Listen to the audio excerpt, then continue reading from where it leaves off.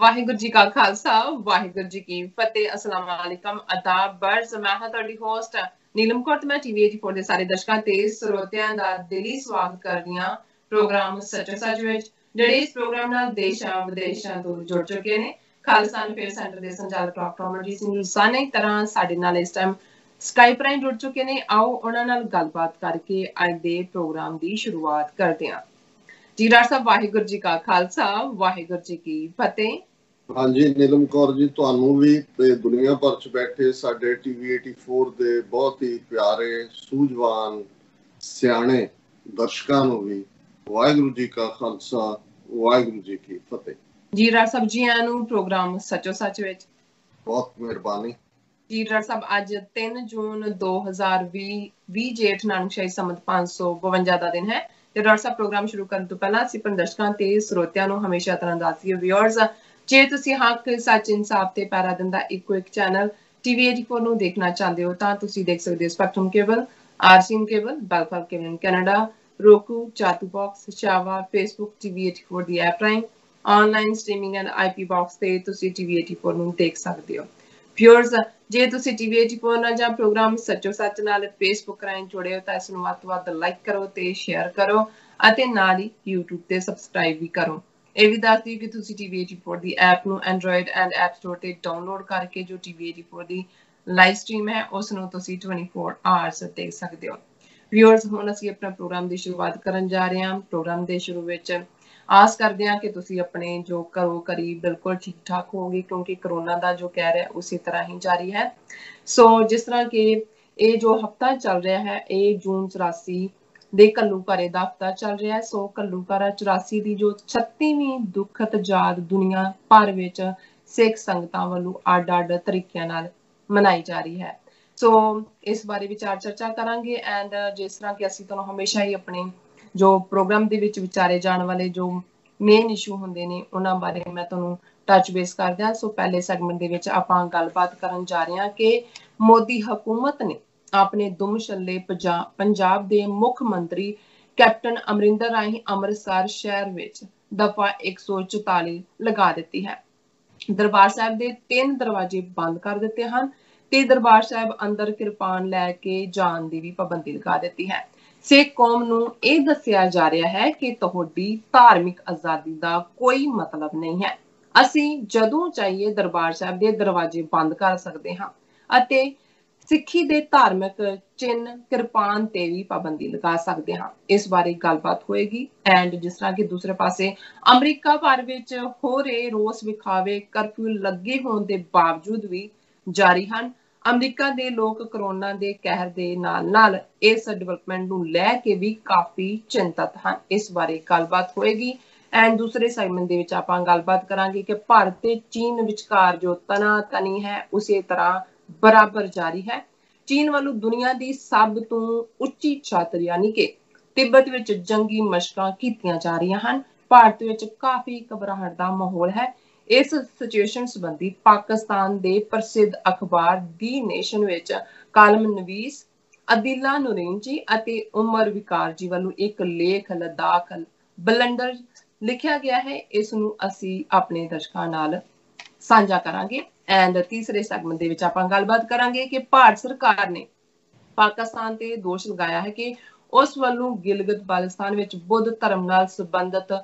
ਪੁਰਾਣੀਆਂ ਜੋ ਯਾਦਗਾਰੀ ਚੀਜ਼ਾਂ ਨੂੰ ਤਬਾਹ ਕੀਤਾ ਜਾ ਰਿਹਾ ਹੈ, ਇਸ ਬਾਰੇ ਗੱਲਬਾਤ ਹੋਏਗੀ ਔਰ ਇਸੇ ਹੀ ਸੈਗਮੈਂਟ ਦੇ ਵਿੱਚ ਆਪਾਂ ਗੱਲਬਾਤ ਕਰਾਂਗੇ ਕਸ਼ਮੀਰ ਮੁੱਦੇ ਤੇ ਕਿ ਕਸ਼ਮੀਰ ਦੇ ਵਿੱਚ ਭਾਰਤੀ ਫੌਜ ਦਾ ਤਸ਼ੱਦਦ ਅਤੇ ਜ਼ੁਲਮ ਜਾਰੀ ਹੈ। ਪੱਤਰਕਾਰਾਂ ਦੇ ਖਿਲਾਫ ਕੇਸ ਰਜਿਸਟਰ ਕੀਤੇ ਜਾ ਰਹੇ ਹਨ ਅਤੇ ਮੈਡੀਕਲ ਅਮਲੇ ਫੈਲੇ ਦੀ ਮਾਰ ਕੁਟਾਈ ਕੀਤੀ ਜਾ ਰਹੀ ਹੈ। ਇਸ ਬਾਰੇ ਵੀ ਵਿਚਾਰ ਚਰਚਾ ਹੋਏਗੀ। ਐਂਡ ਪ੍ਰੋਗਰਾਮ ਦੇ ਐਂਡ ਵਿੱਚ ਆਪਾਂ ਗੱਲਬਾਤ ਕਰਾਂਗੇ ਕਿ ਇਸ ਵਾਰ ਜੂਨ 84 ਦਾ ਕੱਲੂਕਾਰਾ ਦੁਨੀਆ ਭਰ ਵਿੱਚ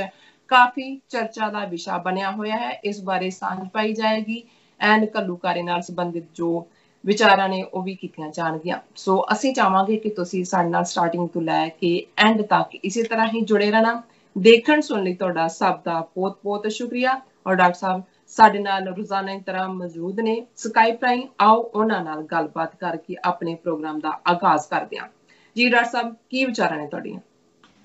ਦੇਖੋ ਕੱਲੂਕਾਰਾ 84 ਦੀ 36ਵੀਂ ਦੁਖਦ ਯਾਦ। ਆਲਰੇਡੀ ਪਿਛਲੇ ਸਾਰੇ ਦਿਨਾਂ ਤੋਂ ਹੀ ਇੱਕ ਐਸੀ ਜਿਹੜੀ ਕੈਫੀਅਤ ਹੈ, ਉਹ ਮਨ ਦੇ ਉੱਤੇ ਤਾਰੀ ਹੈ, ਜਿਸ ਨੂੰ ਦੁਨੀਆ ਭਰ ਦੇ ਵਿੱਚ ਸਿੱਖ ਕੌਮ ਜਿੱਥੇ ਜਿੱਥੇ ਵੀ ਬੈਠੀ ਹੈ, ਉਹ ਵੀ ਉਸੇ ਹੀ ਜਿਹੜਾ ਅੰਦਰੂਨੀ ਹਾਲਤ ਚੋਂ ਗੁਜ਼ਰ ਰਹੀ ਹੈ, ਜਿਸ ਦੇ ਵਿੱਚ ਦਰਦ ਵੀ ਹੈ, ਰੋਹ ਵੀ ਹੈ, ਬੇਬਸੀ ਵੀ ਹੈ। ਤੇ ਗੁਲਾਮੀ ਦੇ ਸੰਗਲ ਕੱਟਣ ਦੀ ਜਿਹੜੀ ਇਸ ਵਾਰ ਇਸ ਵਰੇ ਅਸੀਂ ਕਾਫੀ ਜ਼ੋਰਦਾਰ ਭਾਵਨਾਵਾਂ ਦੇਖਦੇ ਹਾਂ। ਅੱਡ ਅੱਡ ਜਿਹੜੇ ਸ਼ੋਭਿਆਂ ਰਾਈ ਅੱਡ ਅੱਡ ਮੀਡੀਆ ਦੇ ਵਿੱਚ ਔਰ ਈਵਨ ਬਹੁਤ ਸਾਰੀਆਂ ਡਿਸਕਸ਼ਨਸ ਦੇ ਵਿੱਚ ਇਸ ਬਾਰੇ ਅਸੀਂ ਲਾਸਟ ਸੈਗਮੈਂਟ ਦੇ ਵਿੱਚ ਗੱਲਬਾਤ ਕਰਾਂਗੇ। ਸਾਨੂੰ ਇਸ ਗੱਲ ਦਾ ਵੀ ਅਫਸੋਸ ਹੈ ਕਿ ਐਨ ਜਦੋਂ ਕਿ ਘਰੂਕਾਰਾ ਸ਼ੁਰੂ ਹੋਇਆ YouTube ਦੇ ਨਾਲ ਸਾਡਾ ਫੱਡਾ ਪਿਆ ਔਰ ਸਾਡੀ ਲਾਈਵ ਜਿਹੜੀ ਟੈਲੀਕਾਸਟ ਹੈ ਉਸ ਨਾਲ ਸਾਡੇ ਵਿਊਅਰ ਨਹੀਂ ਜੁੜ ਸਕੇ ਕਿਉਂਕਿ ਜਿਹੜੇ ਸੈਂਕੜਿਆਂ ਦੀ ਗਿਣਤੀ 'ਚ ਸਾਡੇ ਵਿਊਅਰ ਲਾਈਵ ਹੁੰਦੇ ਸੀ ਉਸ ਚੈਟ ਦੇ ਵਿੱਚ ਸਾਡੇ ਲਈ ਉਹ ਕਾਫੀ ਇਨਪੁਟ ਵੀ ਸੀ। ਪਰ ਅਸੀਂ ਕੋਸ਼ਿਸ਼ ਕਰਦੇ ਹਾਂ ਕਿ ਪ੍ਰੋਗਰਾਮ ਖਤਮ ਹੋਣ ਦੇ ਨਾਲ ਹੀ ਜਿਹੜਾ ਹੈ ਜਿਹੜਾ ਟੋਟਲ ਸ਼ੋ ਉਸ ਨੂੰ ਅਪਲੋਡ ਕਰ ਦਿੱਤਾ ਜਾਏ ਔਰ ਅਗਲੇ ਦਿਨ ਤੱਕ ਪਹੁੰਚਦੇ ਆ ਉਸ ਦੇ ਡਿਫਰੈਂਟ ਸੈਗਮੈਂਟ ਵੀ ਜਿਹੜੇ ਨੇ ਅਪਲੋਡ ਕੀਤੇ ਜਾਂਦੇ ਨੇ। ਲੇਕਿਨ ਫੇਸਬੁੱਕ ਜਾਂ tv84.tv ਲਾਈਵ ਸਟ੍ਰੀਮਿੰਗ ਰਾਹੀਂ ਤੁਸੀਂ ਜਿਹੜਾ ਸਾਡੇ ਨਾਲ ਲਗਾਤਾਰਤਾ ਦੇ ਨਾਲ ਬਣੇ ਰਹਿਣਾ। ਔਰ ਅਸੀਂ ਆਸ ਕਰਦੇ ਹਾਂ ਕਿ ਇਹਨਾਂ ਦੇ ਨਾਲ YouTube ਵਾਲਾ ਵੀ ਜਿਹੜਾ ਸਾਡਾ ਇਸ਼ੂ ਹੈ ਰਿਜ਼ੋਲਵ ਹੋਏਗਾ ਔਰ ਅਸੀਂ ਉਸ ਰਾਹੀਂ ਵੀ ਤੁਹਾਡੀ ਇਨਪੁਟ ਲੈ ਸਕਾਂਗੇ। ਅੱਜ ਕੁਦਰਤੀ ਦੋ ਲਾਈਨਾਂ ਜਿਹੜੀਆਂ ਉਸ ਪਿਛਲੇ ਕਈ ਵਰਿਆਂ ਤੋਂ ਹੀ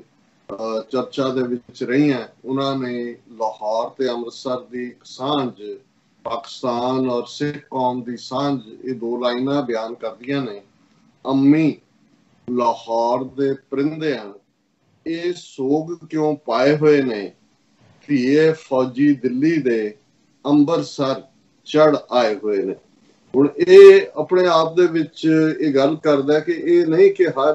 ਇਨਸਾਨੀ ਅੱਖ ਜਾਂ ਸਿੱਖ ਦੀ ਅੱਖ ਜ਼ਾਰੋ ਜ਼ਾਰ ਹੋਈ। ਲਾਹੌਰ ਦੇ ਪਰਿੰਦੇ ਵੀ ਜਿੱਥੇ ਪੰਜਾਬ ਦੇ ਵਿੱਚ ਹੀ ਨਹੀਂ ਦੁਨੀਆ ਭਰ ਚ ਅਸੀਂ ਉਸ ਪੇਨ ਨੂੰ ਮਹਿਸੂਸ ਕਰ ਰਹੇ ਸੀ ਜਿਹਨੂੰ ਪਰਿੰਦੇ ਵੀ ਮਹਿਸੂਸ ਕਰ ਰਹੇ ਸੀ। ਔਰ ਇਹ ਅੰਮੀ ਲਾਹੌਰ ਦੇ ਪਰਿੰਦਿਆਂ ਨੇ ਇਹ ਸੋਗ ਕਿਉਂ ਪਾਏ ਹੋਏ ਨੇ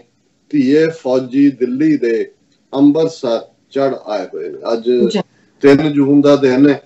ਔਰ 36 ਸਾਲ ਪਹਿਲਾਂ 3 ਜੂਨ ਦਾ ਦਿਨ ਗੁਰੂ ਅਰਜਨ ਸਾਹਿਬ ਦਾ ਸ਼ਹੀਦੀ ਦਿਨ ਸੀ। ਫੌਜ ਦੀ ਮੂਵਮੈਂਟ ਕਿਉਂਕਿ ਜੇ 2 ਲੱਖ ਫੌਜ ਪੰਜਾਬ ਦੇ ਵਿੱਚ ਲਿਆਣੀ ਹੈ ਜ਼ਾਹਰ ਹੈ ਮੂਵਮੈਂਟ ਮਈ ਦੇ ਅਖੀਰਲੇ ਹਫ਼ਤੇ ਸ਼ੁਰੂ ਹੋਈ ਕਿਉਂਕਿ ਗੱਲ ਕੱਲੀ ਦਰਬਾਰ ਸਾਹਿਬ ਦੀ ਘੇਰਾਬੰਦੀ ਨਹੀਂ ਸੀ 37 ਇਤਿਹਾਸਕ ਗੁਰਦੁਆਰਿਆਂ ਦੀ ਵੀ ਘੇਰਾਬੰਦੀ ਸੀ। ਔਰ ਪੰਜਾਬ ਦੇ 12000 ਪਿੰਡਾਂ ਨੂੰ ਵੀ ਬਾਕੀ ਦੁਨੀਆ ਨਾਲੋਂ ਕੱਟ ਆਫ ਕਰਨ ਲਈ ਜਾਂ ਪਿੰਡਾਂ ਦੇ ਇੱਕ ਦੂਜੇ ਦੇ ਨਾਲ ਸਬੰਧ ਤੋੜਨ ਲਈ ਵੀ ਪਿੰਡਾਂ ਦੇ ਨਾਲ ਜੁੜਦੇ ਦੂਸਰੇ ਪਿੰਡਾਂ ਦੇ ਇੰਟਰਸੈਕਸ਼ਨਸ ਤੇ ਆ ਕੇ ਟੈਂਕ ਖੜੇ ਕੀਤੇ ਗਏ ਔਰ ਵੱਡੀ ਗਿਣਤੀ ਦੇ ਵਿੱਚ ਫੌਜ ਪੰਜਾਬ ਦੇ ਵਿੱਚ ਤਾਇਨਾਤ ਕੀਤੀ ਗਈ। ਸੋ ਜ਼ਾਹਰ ਹੈ ਕਿ 3 ਜੂਨ ਤੱਕ ਪਹੁੰਚਦੇ ਆ ਫੌਜ ਪੂਰੀ ਤਰ੍ਹਾਂ ਜਿਹੜੀ ਹੈ ਉਸ ਨੇ ਪੰਜਾਬ ਨੂੰ ਔਰ ਸਾਰੇ ਇਹਨਾਂ ਗੁਰਦੁਆਰਿਆਂ ਨੂੰ ਔਰ ਪੰਜਾਬ ਦੇ ਪਿੰਡਾਂ ਨੂੰ ਘੇਰਾਬੰਦੀ ਦੇ ਵਿੱਚ ਲੈ ਲਿਆ ਸੀ। ਸਾਰੇ ਫੋਰਨ ਕੋਰਸਪੋਂਡੈਂਟ ਜਿਨ੍ਹਾਂ ਦੀ ਲਿਸਟ ਇਹਨਾਂ ਦੇ ਕੋਲ ਹੁੰਦੀ ਆ ਉਹ ਪੰਜਾਬ ਚੋਂ ਕੱਢ ਦਿੱਤੇ ਗਏ ਸੀ। ਬੱਸ ਟ੍ਰੇਨ ਇਹ ਸਰਵਿਸਿਜ਼ ਦਾ ਬੰਦੀ ਸੀ। ਇਵਨ ਪੈਦਲ ਚੱਲਣ ਦੇ ਉੱਤੇ ਵੀ ਪਾਬੰਦੀ ਸੀ। ਔਰ ਇਸ ਤੋਂ ਪਹਿਲਾਂ ਅਸੀਂ ਦੇਖਦੇ ਹਾਂ ਕਿ ਪਹਿਲੀ ਜੂਨ ਨੂੰ ਸੀਆਰਪੀਐਫ ਰਾਈ ਦਰਬਾਰ ਸਾਹਿਬ ਦੇ ਕੰਪਲੈਕਸ ਦੇ ਅੰਦਰ ਫਾਇਰਿੰਗ ਕੀਤੀ ਗਈ ਜਿਨ੍ਹਾਂ ਨੇ ਨਾਲ ਲੱਗਦੀਆਂ ਬਿਲਡਿੰਗਸ ਦੇ ਉੱਤੇ ਹਾਈ ਪੋਜੀਸ਼ਨ ਲਈ ਹੋਈ ਸੀ, ਜਿਹਨੂੰ ਮਿਲਟਰੀ ਸਟ੍ਰੈਟਜੀ ਦੇ ਜਾਣਕਾਰ ਕਹਿੰਦੇ ਨੇ ਕਿ ਉਹ ਇਹ ਦੇਖਣਾ ਚਾਹੁੰਦੇ ਸੀ ਕਿ ਅੰਦਰੋਂ ਫਾਇਰਿੰਗ ਜੇ ਆਏ ਤੇ ਉਹਨਾਂ ਨੂੰ ਪਤਾ ਲੱਗ ਜਾਏ ਕਿ ਕਿੱਥੇ ਕਿੱਥੇ ਪੋਜੀਸ਼ਨਸ ਲਈਆਂ ਹੋਈਆਂ। ਲੇਕਿਨ ਕਿਉਂਕਿ ਅੰਦਰ ਜਿਹੜੀ ਸਾਰੀ ਸਿੰਘਾਂ ਦੀ ਕਮਾਂਡ ਹੈ, ਉਹ ਬੜੇ ਹੀ ਜਿਹੜੇ ਗੁਰਿਲਾ ਵਾਰਫੇਅਰ ਦੇ ਇੱਕ ਐਕਸਪਰਟ ਜਨਰਲ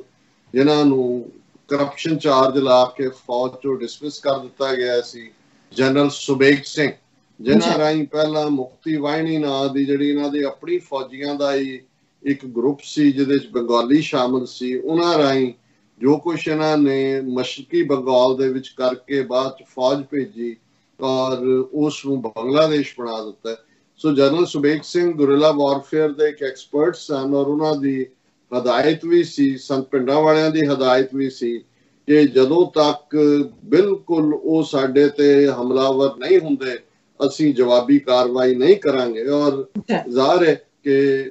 ਪਹਿਲੀ ਜੂਨ ਨੂੰ ਜਿਹੜੀ ਗੋਲੀ ਸੀਆਰਪੀਐਫ ਵੱਲੋਂ ਅੰਦਰ ਚਲਾਈ ਗਈ ਉਹਦੇ ਚ ਵੀ ਇੱਕ ਦਰਜਨ ਤੋਂ ਜ਼ਿਆਦਾ ਜਿਹੜੇ ਸ਼ਰਧਾਲੂ ਸਨ ਜਿਹੜੇ ਪਿਲਗ੍ਰਿਮ ਸਨ ਕਿਉਂਕਿ 3 ਜੂਨ ਨੂੰ ਗੁਰੂ ਅਰਜਨ ਸਾਹਿਬ ਦਾ ਸ਼ਹੀਦੀ ਦਿਨ ਸੀ ਸਿੱਖ ਸੰਗਤਾਂ ਵੱਡੀ ਗਿਣਤੀ ਚ ਆਂਦੀਆਂ ਨੇ। ਦਰਬਾਰ ਸਾਹਿਬ ਦੀ ਸੱਜਣਾ ਵੀ ਗੁਰੂ ਅਰਜਨ ਸਾਹਿਬ ਨੇ ਕੀਤੀ ਪਹਿਲੇ ਸ਼ਹੀਦ ਗੁਰੂ ਵੀ ਜਿੱਥੋਂ ਸਾਡਾ ਸ਼ਹਾਦਤ ਦਾ ਸਫ਼ਰ ਸ਼ੁਰੂ ਹੁੰਦਾ ਹੈ ਗੁਰੂ ਅਰਜਨ ਸਾਹਿਬ ਨੇ ਸੋ ਉਹਨਾਂ ਨੇ ਭਾਰਤੀ ਏਜੰਸੀਆਂ ਨੇ ਜਿਹੜਾ ਦਿਨ ਵੀ ਚੁਣਿਆ ਉਹ ਤਾਂ ਕਿ ਵੱਧ ਤੋਂ ਵੱਧ ਜਿਹੜਾ ਉਹ ਨੁਕਸਾਨ ਹੋਏ ਸਿੱਖਾਂ ਨੂੰ ਵੀ ਸਬਕ ਦਿੱਤਾ ਜਾਏ ਕਿ ਜਿਹੜਾ ਤੁਸੀਂ ਬੜਾ ਆਪਣੇ ਸ਼ਹੀਦਾਂ ਤੇ ਔਰ ਆਪਣੀ ਬਹਾਦਰੀ ਤੇ ਮਾਣ ਕਰਦੇ ਹੋ ਅਸੀਂ ਤੁਹਾਨੂੰ ਸਬਕ ਸਿਖਾਵਾਂਗੇ ਕਿਉਂਕਿ ਮਕਸਦ ਤਾਂ ਟੋਟਲ ਵਾਰ ਸਿੱਖਾਂ ਦੇ ਖਿਲਾਫ ਸਿੱਖਾਂ ਨੂੰ ਸਬਕ ਸਿਖਾਉਣ ਦਾ ਸੀ। ਔਰ ਜ਼ਾਹਰ ਹੈ ਕਿ ਅੱਜ ਜਦੋਂ ਅਸੀਂ 3 ਜੂਨ ਨੂੰ ਗੱਲ ਕਰ ਰਹੇ ਹਾਂ, ਫੌਜ ਪੂਰੀ ਫਾਰਮ ਦੇ ਅੰਦਰ ਔਰ ਇਹ ਜਿਹੜੀ ਅਸਲ ਫੌਜ ਦੇ ਨਾਲ ਜਿਹੜੀ ਜੰਗ ਮੱਚਦੀ ਹੈ, ਉਸ ਦੀ ਸ਼ੁਰੂਆਤ ਅੱਜ ਦੇ ਦਿਨ ਹੁੰਦੀ ਹੈ, ਜਿਹੜੀ ਕਿ ਫਿਰ 6 ਜੂਨ ਦੀ ਸਵੇਰ ਤੱਕ ਜਿਹੜੇ ਕਿ ਲਗਭਗ 72 ਘੰਟੇ ਬਣਦੇ ਨੇ, ਜਦੋਂ ਕਿ 5 ਤੇ 6 ਜੂਨ ਦੀ ਦਰਮਿਆਨੀ ਰਾਤ ਨੂੰ ਜਨਤਾ ਟੈਂਕ ਜਿਨ੍ਹਾਂ ਦੀ ਗਿਣਤੀ 12 ਜਾਂ 13 ਦੱਸੀ ਜਾਂਦੀ ਹੈ ਉਹ ਦਰਬਾਰ ਸਾਹਿਬ ਦੀਆਂ ਪ੍ਰਕਰਮਾਂ ਚ ਲਿਆਂਦੇ ਗਏ ਅਕਾਲ ਤਖਤ ਖੰਡਰਾਤ ਬਣਾ ਦਿੱਤਾ ਗਿਆ ਔਰ ਸੰਤ ਜਰਨੈਲ ਸਿੰਘ ਖਾਲਸਾ ਪਿੰਡਾਂ ਵਾਲੇ ਜਿਹੜੇ ਨੇ ਉਹ ਸ਼ਹੀਦ ਹੁੰਦੇ ਨੇ 5 ਤੇ 6 ਜੂਨ ਦੀ ਦਰਮਿਆਨੀ ਰਾਤ ਨੂੰ ਔਰ ਭਾਈ ਅਮਰੀਕ ਸਿੰਘ ਜਨਰਲ ਸੁਬੇਗ ਸਿੰਘ ਸੋ ਇਹ ਅਸੀਂ ਵਿਰਵੇ ਦੇ ਨਾਲ ਗੱਲਬਾਤ ਕਰਾਂਗੇ। ਪਰ ਇਸ ਗੱਲ ਦਾ ਧਿਆਨ ਰਹੇ ਕਿ ਇੱਕ ਪਾਸੇ ਜਿੱਥੇ ਭਾਰਤੀ ਫੌਜ ਟੈਂਕਾਂ ਤੋਪਾਂ ਦੇ ਨਾਲ ਲੈਸ ਹੋ ਕੇ ਆਈ ਨੇਵਲ ਡਾਈਵਰਸ ਜਿਨ੍ਹਾਂ ਨੇ ਦਰਬਾਰ ਸਾਹਿਬ ਦੇ ਸਰੋਵਰਸ ਜਿਨ੍ਹਾਂ ਨੂੰ ਉਤਾਰਿਆ ਗਿਆ ਤਾਂ ਕਿ ਉਹ ਤੈਰ ਕੇ ਦਰਬਾਰ ਸਾਹਿਬ ਦੇ ਉੱਤੇ ਕਬਜ਼ਾ ਕਰ ਸਕਣ ਔਰ 에ਅਰ ਫੋਰਸ ਜਿਹੜੇ ਉਹਨਾਂ ਦੇ ਜਹਾਜ਼ ਉੱਪਰ ਸਰਕਲ ਕਰ ਰਹੇ ਸੀ ਔਰ ਜਿਹਨੂੰ ਤੁਸੀਂ ਟਾਰਗੇਟ ਮਾਰਕ ਕਰਨਾ ਔਰ ਈਵਨ ਉਹਨਾਂ ਦੇ ਰਾਹੀਂ ਜਿਹੜੇ ਨੇ, ਉਹਨਾਂ ਦੇ ਜਿਹੜੇ ਸਪੈਸ਼ਲ ਕਮਾਂਡੋ ਨੇ, ਉਹਨਾਂ ਨੂੰ ਵੀ ਪ੍ਰਕਰਮਾਂ ਦੇ ਵਿੱਚ ਉਤਾਰਿਆ ਗਿਆ। ਸੋ ਤਿੰਨੋਂ ਹੀ ਫੋਰਸਸ ਇਸਤੇਮਾਲ ਹੋਈਆਂ। ਔਰ ਇਸ ਕੋਈ ਸ਼ੱਕ ਨਹੀਂ ਹੈ ਕਿ ਆਪਣੇ ਲੋਕਾਂ ਦੇ ਖਿਲਾਫ ਫੌਜ ਦਾ ਇਸ ਕਿਸਮ ਦਾ ਇਸਤੇਮਾਲ ਔਰ ਉਹਦੇ ਚ ਈਵਨ ਪੋਇਜ਼ਨਸ ਗੈਸ ਜਿਹੜਾ ਇਹਨਾਂ ਨੇ ਖੁਦ ਮੰਨਿਆ ਕਿ ਗੈਸ ਕਨਿਸਟਰ ਜਿਹੜੇ ਨੇ ਉਹ ਸੁੱਟੇ ਗਏ ਇਸਤੇਮਾਲ ਕੀਤੇ ਗਏ।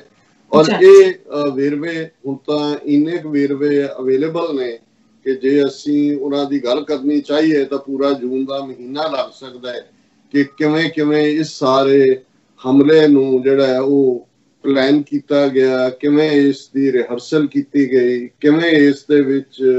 ਇੰਗਲੈਂਡ ਦੀਆਂ ਇੰਟੈਲੀਜੈਂਸ ਏਜੰਸੀਆਂ ਨੇ ਜਿਹੜਾ M15 ਨੇ ਰੋਲ ਅਦਾ ਕੀਤਾ ਹੈ। ਫਰਵਰੀ 84 ਦੇ ਵਿੱਚ ਇੰਦਰਾ ਗਾਂਧੀ ਨੇ ਮਾਰਗਰੇਟ ਥੈਚਰ ਉਸ ਵੇਲੇ ਦੀ ਪ੍ਰਾਈਮ ਮਿਨਿਸਟਰ ਨੂੰ ਚਿੱਠੀ ਲਿਖ ਕੇ ਮਦਦ ਮੰਗੀ। ਔਰ ਕਿਵੇਂ ਉਹਨਾਂ ਦੇ ਜਿਹੜੇ ਨੇ ਦੋ ਸਪੈਸ਼ਲ ਇੰਟੈਲੀਜੈਂਸ ਆਫੀਸ਼ੀਅਲ ਜਿਨ੍ਹਾਂ ਨੇ ਦਰਬਾਰ ਸਾਹਿਬ ਦੀ ਰੇਕੀ ਕੀਤੀ, ਉਹ ਗਏ।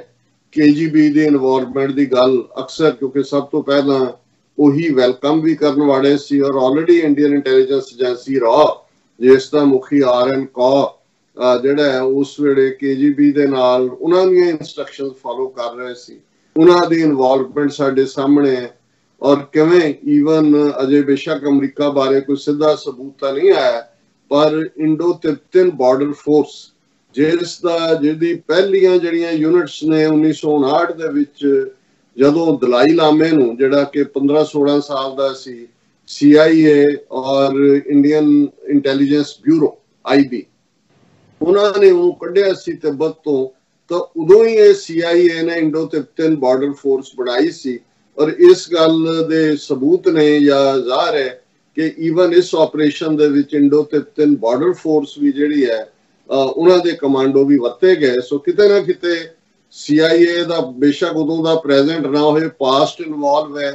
ਇਜ਼ਰਾਈਲੀ ਮੌਸਾਦ ਬਾਰੇ ਅਸੀਂ ਚੰਗੀ ਤਰ੍ਹਾਂ ਦੇਖਦੇ ਹਾਂ ਕਿ ਕਿਵੇਂ ਉਹਨਾਂ ਦੇ ਨਾਲ ਜਿਹੜੀ ਸਾਂਝ ਭਿਆਲੀ ਸੀ ਔਰ ਜਿਵੇਂ ਪੰਜਾਬ ਦੇ ਵਿੱਚ ਜਿਹੜਾ ਦੌਰ ਬਾਅਦ ਟਾਰਚਰ ਦਾ ਚੱਲਿਆ ਇਹਨਾਂ ਦੇ ਆਫੀਸ਼ੀਅਲਸ ਵੀ ਉੱਥੇ ਟ੍ਰੇਨਡ ਹੋਣ ਲਈ ਜਾਂਦੇ ਰਹੇ। ਸੋ ਜਦੋਂ ਅਸੀਂ ਇਹ ਦਰਬਾਰ ਸਾਹਿਬ ਤੇ ਹਮਲੇ ਦੀ ਗੱਲ ਦੇਖਦੇ ਹਾਂ, ਫਿਰ ਇਸ ਗੱਲ ਦਾ ਧਿਆਨ ਰਹੇ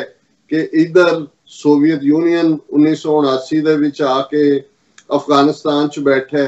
1984 ਦਾ ਉਹ ਪੀਰੀਅਡ ਹੈ ਜਦੋਂ ਕਿ ਅਜੇ ਕੋਈ ਡਿਸਾਈਸਿਵ ਬੈਟਲ ਵਿਕਟਰੀ ਵੱਲ ਅਫਗਾਨਾਂ ਦੀ ਨਹੀਂ ਗਈ, ਜਿਹੜੇ ਮੁਜਾਹਿਦੀਨ ਲੜ ਰਹੇ ਸੀ, ਕਿਉਂਕਿ ਅਜੇ ਸਟਿੰਗਰ ਮਿਸਲ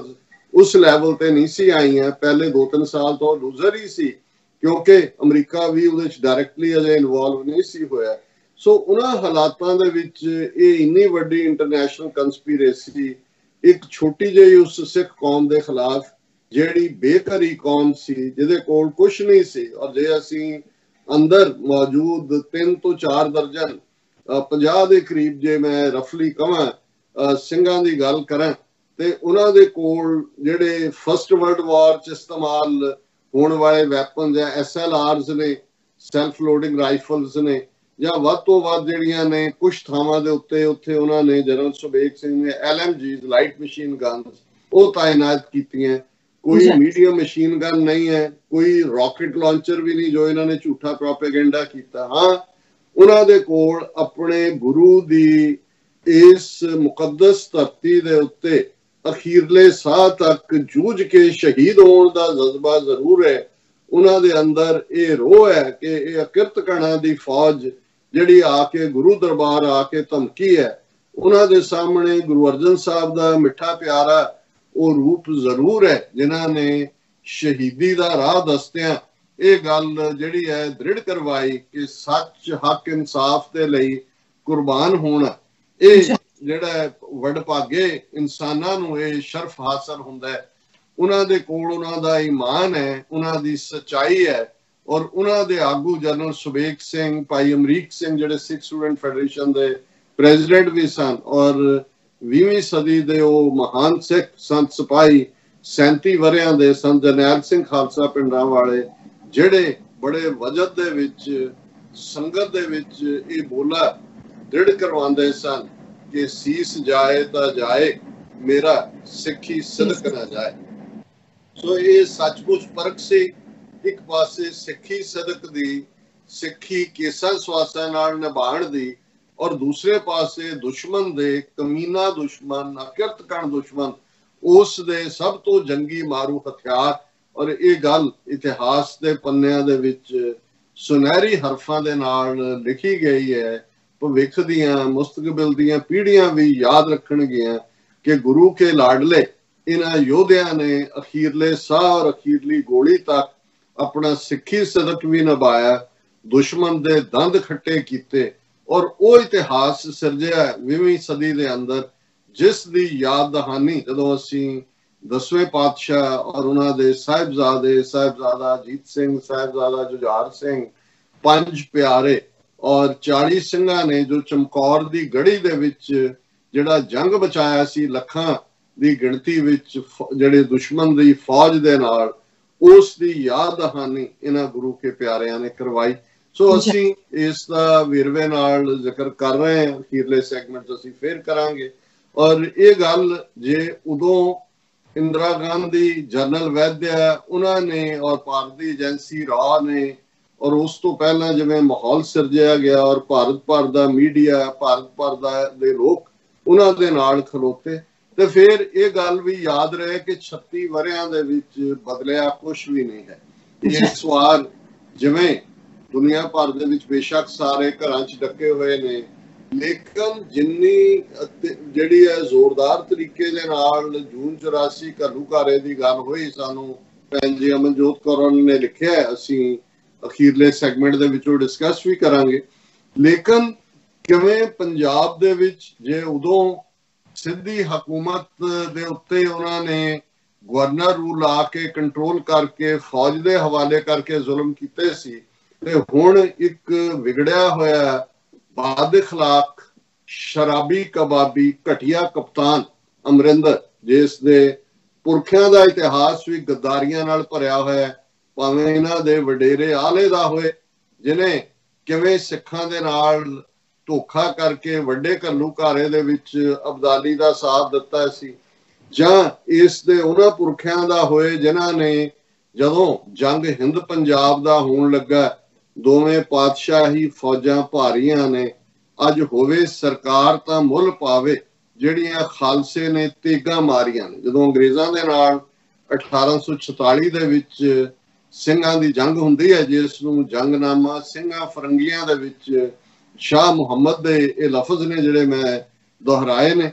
ਜੀ। ਤੇ ਉਦੋਂ ਇਹਦੇ ਵਡੇਰੇ ਜਿਹੜੇ ਨੇ ਉਹ ਅੰਗਰੇਜ਼ਾਂ ਦੇ ਨਾਲ ਖੜੇ ਸੀ। ਔਰ ਫਿਰ ਅਸੀਂ ਦੇਖਦੇ ਹਾਂ ਕਿਵੇਂ ਇਹਨਾਂ ਗੱਦਾਰਾਂ ਦੇ ਟੱਬਰ ਨੇ 1947 ਦੇ ਦੌਰ 'ਚ ਜਦੋਂ ਕਿ ਸਿੱਖ ਕੌਮ ਦੀ ਕਿਸਮਤ ਘੜੀ ਜਾਣੀ ਸੀ ਔਰ ਇਸ ਦਾ ਪਿਓ ਯਾਦਵਿੰਦਰ ਸਿੰਘ ਕਿਵੇਂ ਅੰਗਰੇਜ਼ਾਂ ਦਾ ਹੱਥ ਠੋਕਾ ਬਣਿਆ ਉਹਨਾਂ ਦਾ ਕੁੱਤਾ ਬਣਿਆ ਔਰ 570 ਦੇ ਕਰੀਬ ਜਿਹੜੇ ਚੈਂਬਰ ਆਫ ਪ੍ਰਿੰਸਸ ਦੇ ਦਾ ਇਹ ਚਾਂਸਲਰ ਸੀ ਕਿਸੇ ਦੀ ਸਲਾਹ ਲਏ ਬਿਨਾ ਉਹਨੇ ਆਪਣੀ ਸਟੇਟ ਭਾਰਤ ਦੇ ਨਾਲ ਮਰਜ ਕੀਤੀ ਔਰ ਜਿਹੜੀ ਆਫਰ ਕਾਇਦੇ ਆਜ਼ਮ ਮੁਹੰਮਦ ਅਲੀ ਜਿਨ੍ਹਾਂ ਨੇ ਪਰਸਨਲੀ ਮਿਲ ਕੇ ਇਸ ਨੂੰ ਦਿੱਤੀ ਸੀ ਕਿ ਭਾਈ ਤੁਸੀਂ ਬਫਰ ਬਣਾਓ ਆਪਣਾ ਔਰ ਪਟਿਆਲਾ ਉਹਨੂੰ ਹੈਡ ਕਰੇ ਨੇ ਉਸੇ ਸ਼ਾਮ ਉਹ ਗੱਲ ਨਹਿਰੂ ਤੱਕ ਪਹੁੰਚਾ ਦਿੱਤੀ ਸੀ। ਔਰ ਉਸ ਦੀ ਇਹ ਗੰਦੀ ਔਲਾਦ ਅਮਰਿੰਦਰ, ਜਿਵੇਂ ਇਹਨੇ ਇੱਕ ਡਰਾਮਾ ਕੀਤਾ ਜੂਨ 84 ਦੇ ਘੱਲੂਘਾਰੇ ਵੇਲੇ ਕਿ ਜੀ ਮੈਂ ਐਮਪੀ ਦੀ ਪੋਸਟ ਛੱਡੀ ਹੈ, ਪਰ ਇਸ ਦੇ ਨਾਲ ਇਸ ਨੇ ਹੁਣ ਜਿਵੇਂ ਇਸ ਵਰੇ ਚ ਕਿਉਂਕਿ ਇਹ ਐਲਾਨ ਦਲ ਖਾਲਸਾ ਵੱਲੋਂ ਕੀਤਾ ਗਿਆ ਸੀ ਕਿ ਉਹ ਅੰਮ੍ਰਿਤਸਰ ਦੇ ਵਿੱਚ ਰੋਸ ਮਾਰਚ ਕੱਢਣਗੇ, ਜਿਵੇਂ ਪਿਛਲੇ ਸਾਲਾਂ ਤੋਂ ਲਗਾਤਾਰਤਾ ਨਾਲ ਕੱਢ ਰਹੇ ਨੇ। ਅਕਾਲ ਤਖਤ ਸਾਹਿਬ ਤੇ ਭੋਗ ਪਾਇਆ ਜਾਂਦਾ ਹੈ। ਗੁਰਦੁਆਰਾ ਝੰਡੇ ਬੁੰਗੇ ਔਰ ਅਕਾਲ ਤਖਤ ਸਾਹਿਬ ਤੇ ਦੀਵਾਨ ਸਜਦਾ ਹੈ ਔਰ ਐਡਰੈਸ ਕੀਤੇ ਜਾਂਦੇ ਨੇ ਹਰ ਸਾਲ ਸ਼ਹੀਦਾਂ ਨੂੰ ਯਾਦ ਕੀਤਾ ਜਾਂਦਾ ਹੈ। ਜੂਨ 84 ਦੇ ਘੱਲੂਘਾਰੇ ਸ਼ਹੀਦ ਹੋਏ ਸਿੰਘਾਂ ਨੂੰ। ਔਰ ਜਿਵੇਂ ਅੰਮ੍ਰਿਤਸਰ ਦੇ ਵਿੱਚ ਜਿਹੜੀ ਹੈ ਉਹ ਇਸ ਕੋਵਿਡ-19 ਦੇ ਬਹਾਨੇ ਨਾਲ ਦਫਾ 144 ਲਾਈ ਗਈ। ਪੰਜਾਬ ਦੇ ਲਗਾਈ ਗਈ ਹੈ। ਪੰਜਾਬ ਦੇ ਵਿੱਚ ਬਾਕੀ ਪੰਜਾਬ ਖੋਲਿਆ ਜਾ ਰਿਹਾ ਹੈ। ਜੇ ਹੁੱਕਾ ਪਾਰਟੀ ਜਿਹੜੀ ਹੈ ਉਹ ਪਟਿਆਲੇ 'ਚ ਇਸ ਦੀ ਕਾਂਗਰਸ ਦੇ ਜਿਹੜੇ ਗੁੰਡੇ ਨੇ ਸ਼ਿਵ ਸੈਨਾ ਵਾਲੇ ਉਹ ਕਰ ਸਕਦੇ ਨੇ। ਬਾਕੀ ਸਾਰਾ ਜਿਹੜਾ ਇਹਨਾਂ ਦਾ ਜੋ ਕੁਝ ਚੱਲਦਾ ਉਹ ਚੱਲ ਰਿਹਾ ਤੇ ਉਹਨਾਂ ਨੇ ਅੰਮ੍ਰਿਤਸਰ 'ਚ ਉਸ ਨੂੰ ਵੀ ਰੋਕਿਆ ਰੋਸ ਮਾਰਚ ਨੂੰ। ਔਰ ਸਭ ਤੋਂ ਜਿਹੜਾ ਵੱਧ ਕਰਮ ਇਹਨੇ ਕੀਤਾ ਜਿਹਦੇ ਲਈ ਇਹਨੂੰ ਬਹੁਤ ਜਲਦੀ ਮੇਰਾ ਖਿਆਲ ਹੈ ਕਿ ਇਹ ਸਜ਼ਾ ਪੰਥ ਦੇਗਾ ਕਿ ਇਸ ਨੇ ਉਹ ਦਰਬਾਰ ਸਾਹਿਬ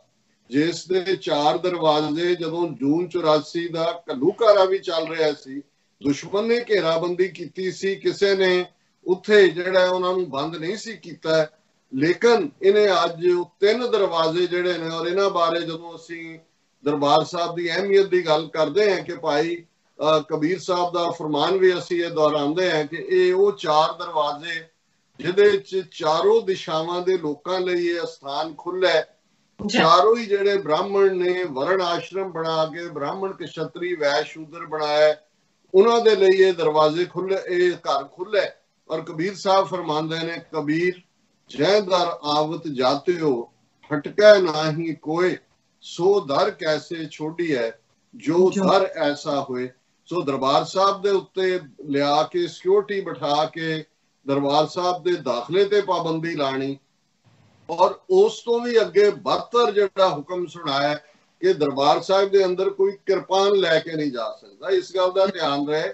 ਕਿ ਅੰਗਰੇਜ਼ਾਂ ਨੇ ਵੀ ਆਪਣੇ ਰਾਜ ਦੇ ਵੇਲੇ ਇੱਕ ਵਾਰ ਇਹ ਕੋਸ਼ਿਸ਼ ਕੀਤੀ ਸੀ ਕਿ ਜੀ ਸਿੱਖਾਂ ਨੂੰ ਸਿਰਫ ਜਿਹੜੀ ਗਾਤਰੇ ਪਾਈ 6 ਇੰਚ ਦੀ ਕਿਰਪਾਨ ਹੈ, ਉਹੀ ਰਹਿਣ ਦਿੱਤੀ ਜਾਏ। ਕਿਰਪਾਨ ਜਿਹੜੀ ਹੈ, ਉਹ ਪਹਿਨਣ ਦਾ ਜਿਹੜਾ ਉਹਨਾਂ ਨੂੰ ਰੱਖਣ ਦਾ ਹੱਕ ਹੈ। ਤਿੰਨ ਫੁੱਟ ਕਿਰਪਾਨ ਦਾ ਮਤਲਬ ਹੀ ਤਿੰਨ ਫੁੱਟੀ ਕਿਰਪਾਨ ਕਿ ਉਹ ਹੱਕ ਖੋਇਆ ਜਾਏ ਉਹਨਾਂ ਨੇ ਇਸ ਕਿਸਮ ਦੀ ਸ਼ਰਾਰਤ ਜਾਂ ਆਰਡੀਨੈਂਸ ਵੀ ਲਿਆਂਦਾ ਸਿੱਖਾਂ ਨੇ ਮੋਰਚਾ ਲਾਇਆ ਸੀ ਇਸ ਦੇ ਉੱਤੇ ਔਰ ਇਸ ਲਈ ਉਸ ਮੋਰਚੇ ਦੇ ਵਿੱਚ ਸੈਂਕੜੇ ਸਿੱਖਾਂ ਨੇ ਗ੍ਰਿਫਤਾਰੀ ਦਿੱਤੀ ਔਰ ਜਿਹੜੀ ਗ੍ਰਿਫਤਾਰੀ ਵੀ ਦਿੰਦੇ ਸੀ ਉਹਨਾਂ ਨੂੰ ਕਿਰਪਾਨ ਬਹਾਦਰ ਕਿਹਾ ਜਾਂਦਾ ਸੀ। ਔਰ ਜਦੋਂ ਹਜ਼ਾਰਾਂ ਦੀ ਗਿਣਤੀ ਸਿੱਖ ਇਕੱਠੇ ਹੋਣੇ ਸ਼ੁਰੂ ਹੋ ਗਏ ਇਸ ਦੇ ਉੱਤੇ ਤੇ ਅੰਗਰੇਜ਼ਾਂ ਨੇ ਉਹ ਪਾਬੰਦੀ ਵਾਪਸ ਲੈ ਲਈ ਸੀ ਔਰ ਜਿਹੜਾ ਪਹਿਲਾ ਸਿੱਖ ਜਿਹਨੇ ਉਸ ਚ ਗ੍ਰਿਫਤਾਰੀ ਦਿੱਤੀ ਸੀ ਉਹਦਾ ਕਿਰਪਾਨ ਬਹਾਦਰ ਦਾ ਟਾਈਟਲ ਪੰਥ ਨੇ ਉਹਨੂੰ ਦਿੱਤਾ ਔਰ ਇਹੀ ਕਾਰਨ ਸੀ ਕਿ ਬੇਸ਼ੱਕ ਭਾਰਤੀ ਸੰਵਿਧਾਨ ਸਾਨੂੰ ਹਿੰਦੂਆਂ ਦੇ ਖਾਤੇ 'ਚ ਆਰਟੀਕਲ 25 ਬੀ ਰੱਖਦਾ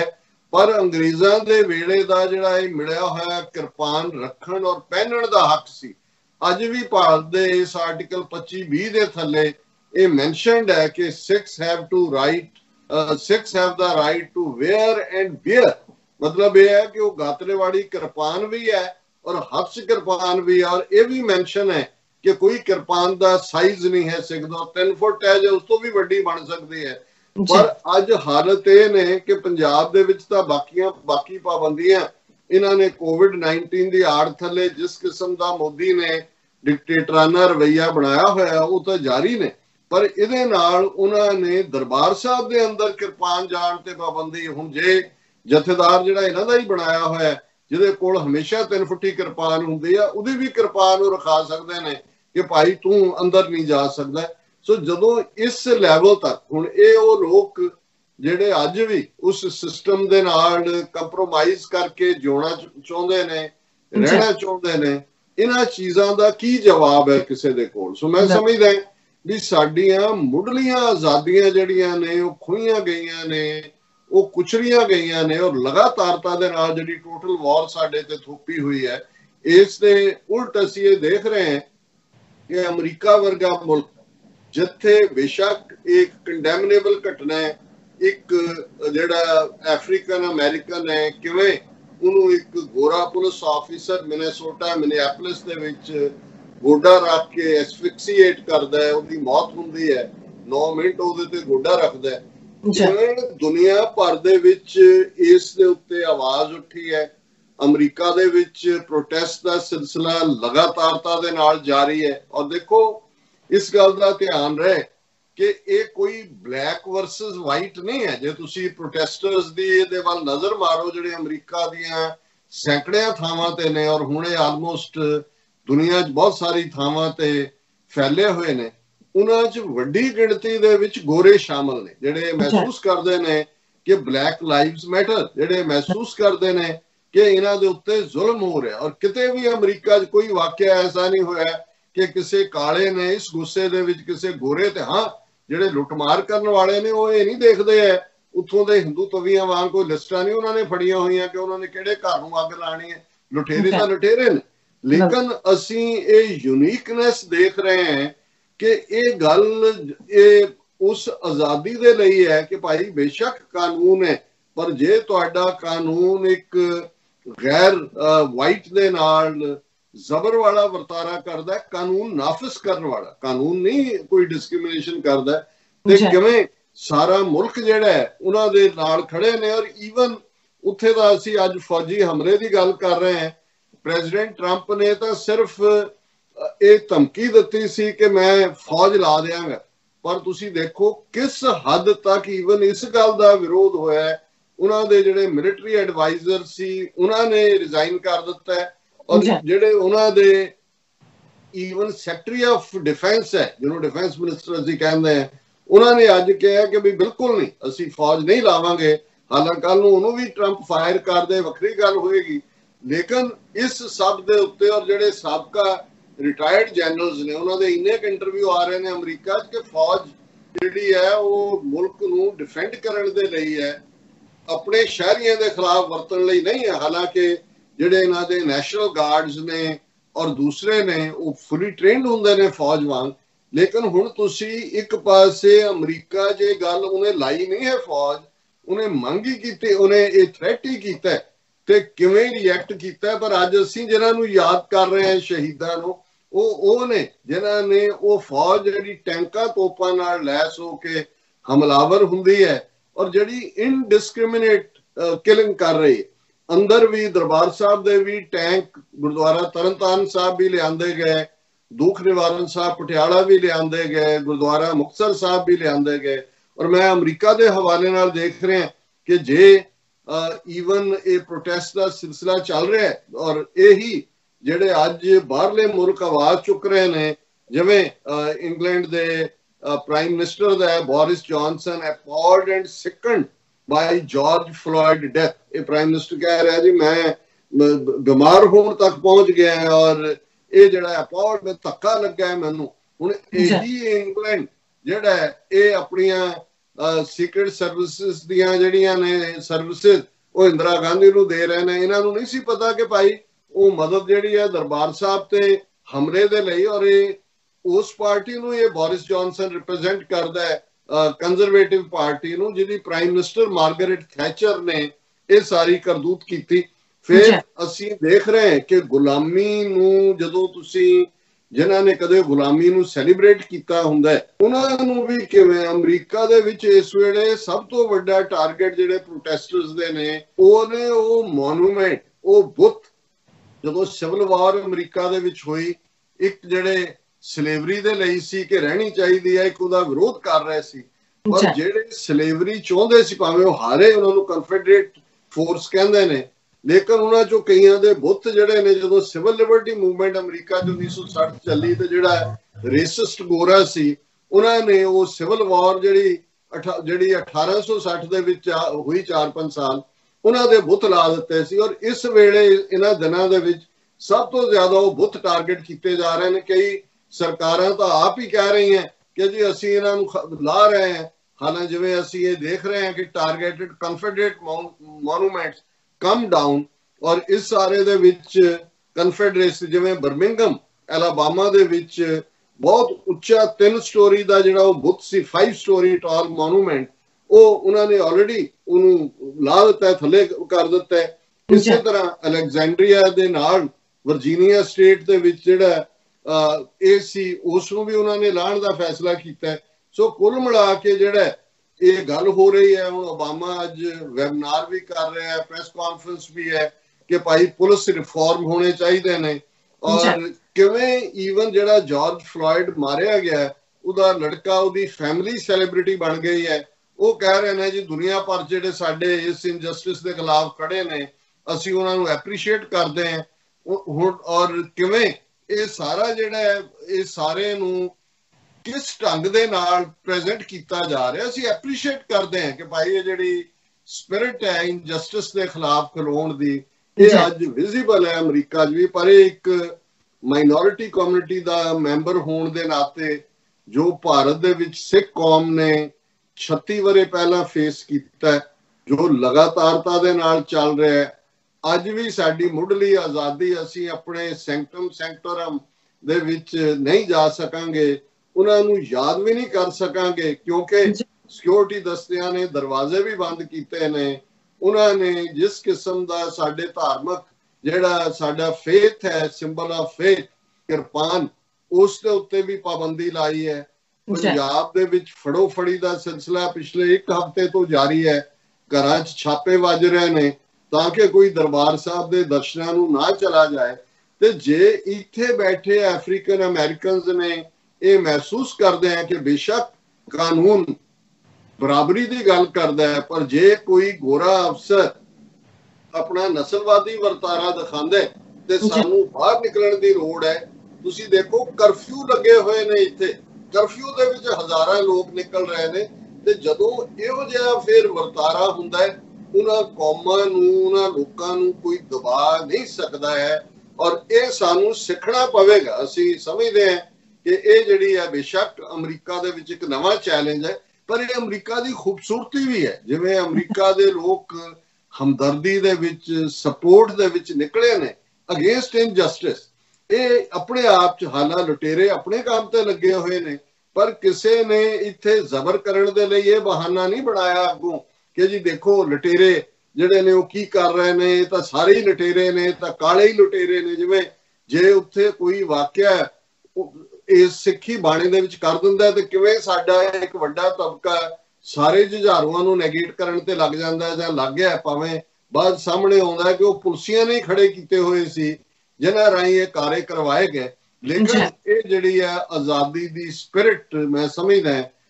ਜਿਹੜੀ ਸਿਵਲ ਲਿਬਰਟੀ ਦੇ ਲਈ ਲੋਕਾਂ ਦੇ ਹੱਕਾਂ ਦੇ ਲਈ ਹੈ ਇਹ ਸਾਨੂੰ ਵੀ ਯਾਦ ਦਹਾਨੀ ਕਰਵਾਉਂਦੀ ਹੈ। ਕਿ ਭਾਰਤੀ ਸਿਸਟਮ ਦੇ ਵਿੱਚ ਕੁਝ ਵੀ ਨਹੀਂ ਬਦਲਿਆ ਸਾਡੇ ਅਕਲੀਅਤਾਂ ਦੇ ਲਈ ਔਰ ਸਾਨੂੰ ਖਲੋਣਾ ਪਏਗਾ ਇਸ ਜ਼ੁਲਮ ਦੇ ਖਿਲਾਫ ਔਰ ਕਲੋਜ਼ ਕਰਨ ਤੋਂ ਪਹਿਲਾਂ ਮੈਂ ਜਿਹੜਾ ਕਰੋਨਾ ਵਾਇਰਸ ਦੀ ਟੋਟਲ ਫਿਗਰ ਹੈ ਦੁਨੀਆ ਦੇ ਵਿੱਚ ਇਸ ਵੇਲੇ 6 ਮਿਲੀਅਨ 5 ਲੱਖ 1220 ਇਹ ਟੋਟਲ ਕੇਸਿਸ ਨੇ ਔਰ 3 ਲੱਖ 84088 ਮੌਤਾਂ ਹੋ ਚੁੱਕੀਆਂ ਨੇ। ਅਮਰੀਕਾ ਦੇ ਵਿੱਚ 1 ਮਿਲੀਅਨ 8 ਲੱਖ 87872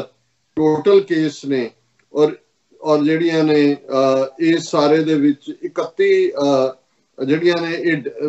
1 ਲੱਖ ਤੋਂ ਜ਼ਿਆਦਾ ਜ਼ਾਹਰ ਹੈ ਡੈਥਸ ਨੇ। ਇੰਡੀਆ ਜਿਹੜਾ 7ਵੇਂ ਨੰਬਰ ਤੇ ਹੈ ਹੁਣ 2 ਲੱਖ 14664 ਟੋਟਲ ਕੇਸ ਨੇ ਔਰ 6028 ਡੈਥਸ ਹੋ ਚੁੱਕੀਆਂ ਨੇ। ਪਾਕਿਸਤਾਨ ਦੇ ਵਿੱਚ ਵੀ ਕੇਸ ਤੇਜ਼ੀ ਨਾਲ ਵਧੇ ਨੇ। ਨੰਬਰ 80463 ਹੈ ਔਰ ਟੋਟਲ ਡੈਥਸ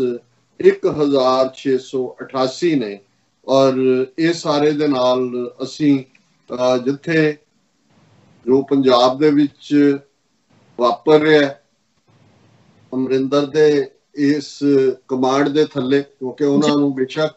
ਕਾਂਗਰਸ ਦਾ ਲੇਬਲ ਲੱਗਾ ਹੋਇਆ ਉਹਦੇ ਤੇ ਲੇਕਿਨ ਉਹ ਅਜੀਤ ਡਾਵਲ ਦਾ ਖਾਸਮ ਖਾਸ ਹੈ ਔਰ ਇਸ ਬਦ اخلاق ਬਦ ਚਲਨ ਬਦ ਕਲਾਮ ਆਦਮੀ ਨੂੰ ਭਾਰਤੀ ਮੀਡੀਆ ਵੀ ਸਿੱਖਾਂ ਦਾ ਔਰ ਪੰਜਾਬ ਦਾ ਨੁਮਾਇੰਦਾ ਬਣਾ ਕੇ ਪ੍ਰੈਜ਼ੈਂਟ ਕਰ ਰਿਹਾ ਹੈ ਉਹ ਆਪਣੇ ਝੂਠੇ ਪ੍ਰਚਾਰ 'ਚ ਇੱਕ ਗਾਣਾ ਜਿਹੜਾ ਉਹ ਸ਼ੂਟ ਕਰਵਾਇਆ ਗਿਆ ਕਿ ਜੀ ਕਰੋਨਾ ਤੇ ਫਤਿਹ ਉਸ ਦਾ ਨਾਂ ਹੀ ਜਿਹੜਾ ਫਤਿਹ ਦੇ ਨਾਲ ਜੋੜਿਆ ਗਿਆ ਜਿਹਦੇ 'ਚ ਸਿੱਖਾਂ ਦਾ ਨਵੰਬਰ 84 ਚ ਕਾਤਲ ਜਿਹੜਾ ਖੂਨ ਦਾ ਬਦਲਾ ਖੂਨ ਕਹਿਣ ਵਾਲਾ ਅਮਿਤਾਭ ਬਚਨ ਹੋਏ ਔਰ ਉਹ ਸਾਰੇ ਜਿਹੜੇ ਇਸ ਕਿਸਮ ਦੇ ਫਰਾਡੀਏ ਐਂਟਾਈ ਸਿੱਖ ਲਾਈਨ ਵਾਲੇ ਲੋਕ ਗੁਰਦਾਸ ਮਾਨ ਵਰਗੇ ਇਹਨਾਂ ਸਾਰਿਆਂ ਨੂੰ ਜਿਹੜਾ ਅੱਗੇ ਲਾਇਆ ਗਿਆ ਤਾਂ ਕਿ ਜਦੋਂ ਸਿੱਖ ਘੱਲੂਕਾਰਾ ਯਾਦ ਇਹ ਜਦੋਂ ਤੁਸੀਂ ਫਤਿਹ ਸੌਂਗ ਇਹਨੂੰ ਕਹਿੰਦੇ ਹੋ ਕਿ ਜੀ ਅਸੀਂ ਕਰੋਨਾ ਤੇ ਫਤਿਹ ਪਾ ਲਈ ਹੈ ਇਸ ਗੱਲ ਦਾ ਧਿਆਨ ਰਹੇ ਇਹਨਾਂ ਨੇ ਕਿਵੇਂ ਤਬਲੀਗੀ ਜਮਾਤ ਨੂੰ ਜੋੜ ਕੇ ਮੁਸਲਮਾਨਾਂ ਨੂੰ ਦੋਸ਼ੀ ਬਣਾਇਆ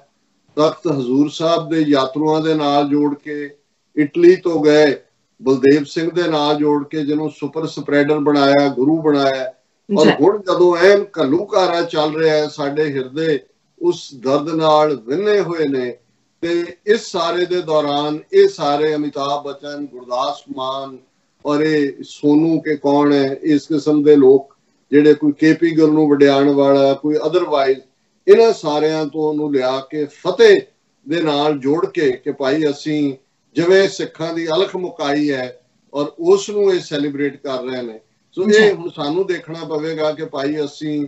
ਇਸ ਗੁਲਾਮੀ ਦੇ ਤੰਤਰ ਨੂੰ ਕਿਵੇਂ ਤੋੜਨਾ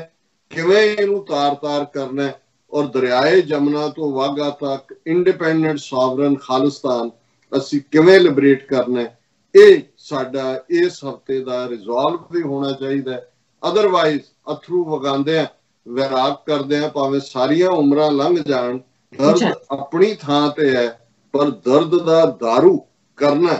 ਇਹ ਸਾਡਾ ਫਰਜ਼ ਹੈ ਤੇ ਇਸ ਦਰਦ ਦਾ दारू ਦਰਦ ਸਾਡੀ ਗੁਲਾਮੀ ਚੋਂ ਨਿਕਲਿਆ ਔਰ ਇਸ ਦਾ दारू ਆਜ਼ਾਦੀ ਹੈ ਗੁਲਾਮੀ ਦੇ ਸੰਗਲ ਤੋੜਨੇ ਨੇ ਔਰ ਅਸੀਂ ਆਪਣੇ ਉਹਨਾਂ ਸਾਰੇ ਸ਼ਹੀਦ ਸਿੰਘਾਂ ਸਿੰਘਣੀਆਂ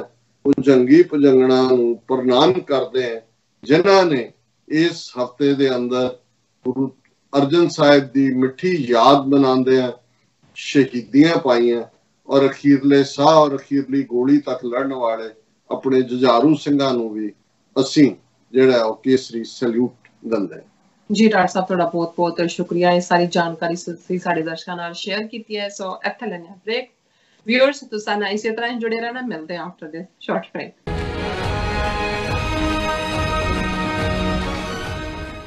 2020 ਦੀ ਜਨਗਣਨਾ ਯੂਨਾਈਟਿਡ ਸਟੇਟ ਵਿੱਚ ਰਹਿੰਦੇ ਹਰ ਇੱਕ ਵਿਅਕਤੀ ਦੀ ਇੱਕ ਗਿਣਤੀ ਹੈ। 2020 ਜਨਗਣਨਾ ਬਹੁਤ ਮਹੱਤਵਪੂਰਨ ਹੈ। ਅਤੇ ਗਾਈਡ ਕਰੋ ਕਿ ਕਿਵੇਂ ਪ੍ਰਤੀ ਸਾਲ 675 ਬਿਲੀਅਨ ਡਾਲਰ ਤੋਂ ਵੱਧ ਸੰਘੀ ਫੰਡਿੰਗ ਸਮੁਦਾਇਆਂ ਵਿੱਚ ਖਰਚ ਕੀਤੀ ਜਾਂਦੀ ਹੈ।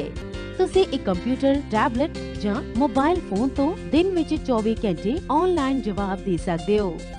ਤੁਹਾਡੀ ਜਾਣਕਾਰੀ ਗੁਪਤ ਹੈ। ਆਪਣੇ ਆਪ ਨੂੰ ਸਿੱਖਾਂ ਵਜੋਂ ਕਾਊਂਟ ਕਰਨ ਵਾਸਤੇ ਆਪਾਂ ਸੈਕਸ਼ਨ 9 ਦੇ ਵਿੱਚ ਜਦ ਜਾਵਾਂਗੇ, ਉੱਥੇ ਸਮ ਅਦਰ ਰੇਸ ਦੇ ਵਿੱਚ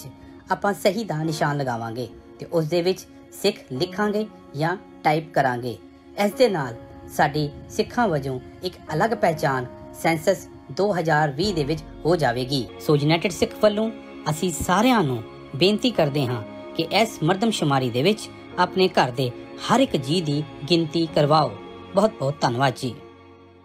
ਕੀ ਤੁਸੀਂ ਰੋਜ਼ਾਨਾ ਕੰਮ ਤੇ ਆਪਣਾ ਵਧੇਰੇ ਸਮਾਂ ਬਿਤਾਉਣ ਤੋਂ ਪਰੇਸ਼ਾਨ ਹੋ? ਆਪਣੀ ਪੂੰਜੀ ਨੂੰ ਕੰਮ ਤੇ ਲਗਾਓ। ਸਾਡੇ ਨਾਲ ਇਨਵੈਸਟ ਕਰੋ। ਅਸੀਂ ਤੁਹਾਡੀ ਪੂੰਜੀ ਤੋਂ ਤੁਹਾਡੇ ਲਈ ਵਧੇਰੇ ਪੈਸੇ ਬਣਾ ਸਕਦੇ ਹਾਂ। ਅਸੀਂ ਪ੍ਰਾਈਵੇਟ ਇਕੁਇਟੀ ਇਨਵੈਸਟਮੈਂਟ ਫਰਮ ਹਾਂ ਤੇ ਕਮਰਸ਼ੀਅਲ ਰੀਅਲ ਏਸਟੇਟ ਵਿੱਚ ਮਾਹਿਰ ਹਾਂ। Property management leasing asset management commercial real estate investment ਵਿੱਚ ਸਾਰੀਆਂ ਸੇਵਾਵਾਂ ਲਈ ਅਮਰੀਕਾ ਭਰ ਵਿੱਚੋਂ ਤੁਸੀਂ ਸਾਡੇ ਤੱਕ ਪਹੁੰਚ ਕਰ ਸਕਦੇ ਹੋ। ਆਜ਼ਾਦ ਕਮਰਸ਼ੀਅਲ ਰੀਅਲਟੀ ਸਰਵਿਸਿਜ਼ ਤੇ Azad family trust 701 north post oak road suite number 204 Houston, Texas. ਤੁਸੀਂ ਸਾਨੂੰ ਸਾਡੇ ਫੋਨ ਨੰਬਰ 7136861277 ਤੇ ਵੀ ਸੰਪਰਕ ਕਰ ਸਕਦੇ ਹੋ। Azad commercial reality services.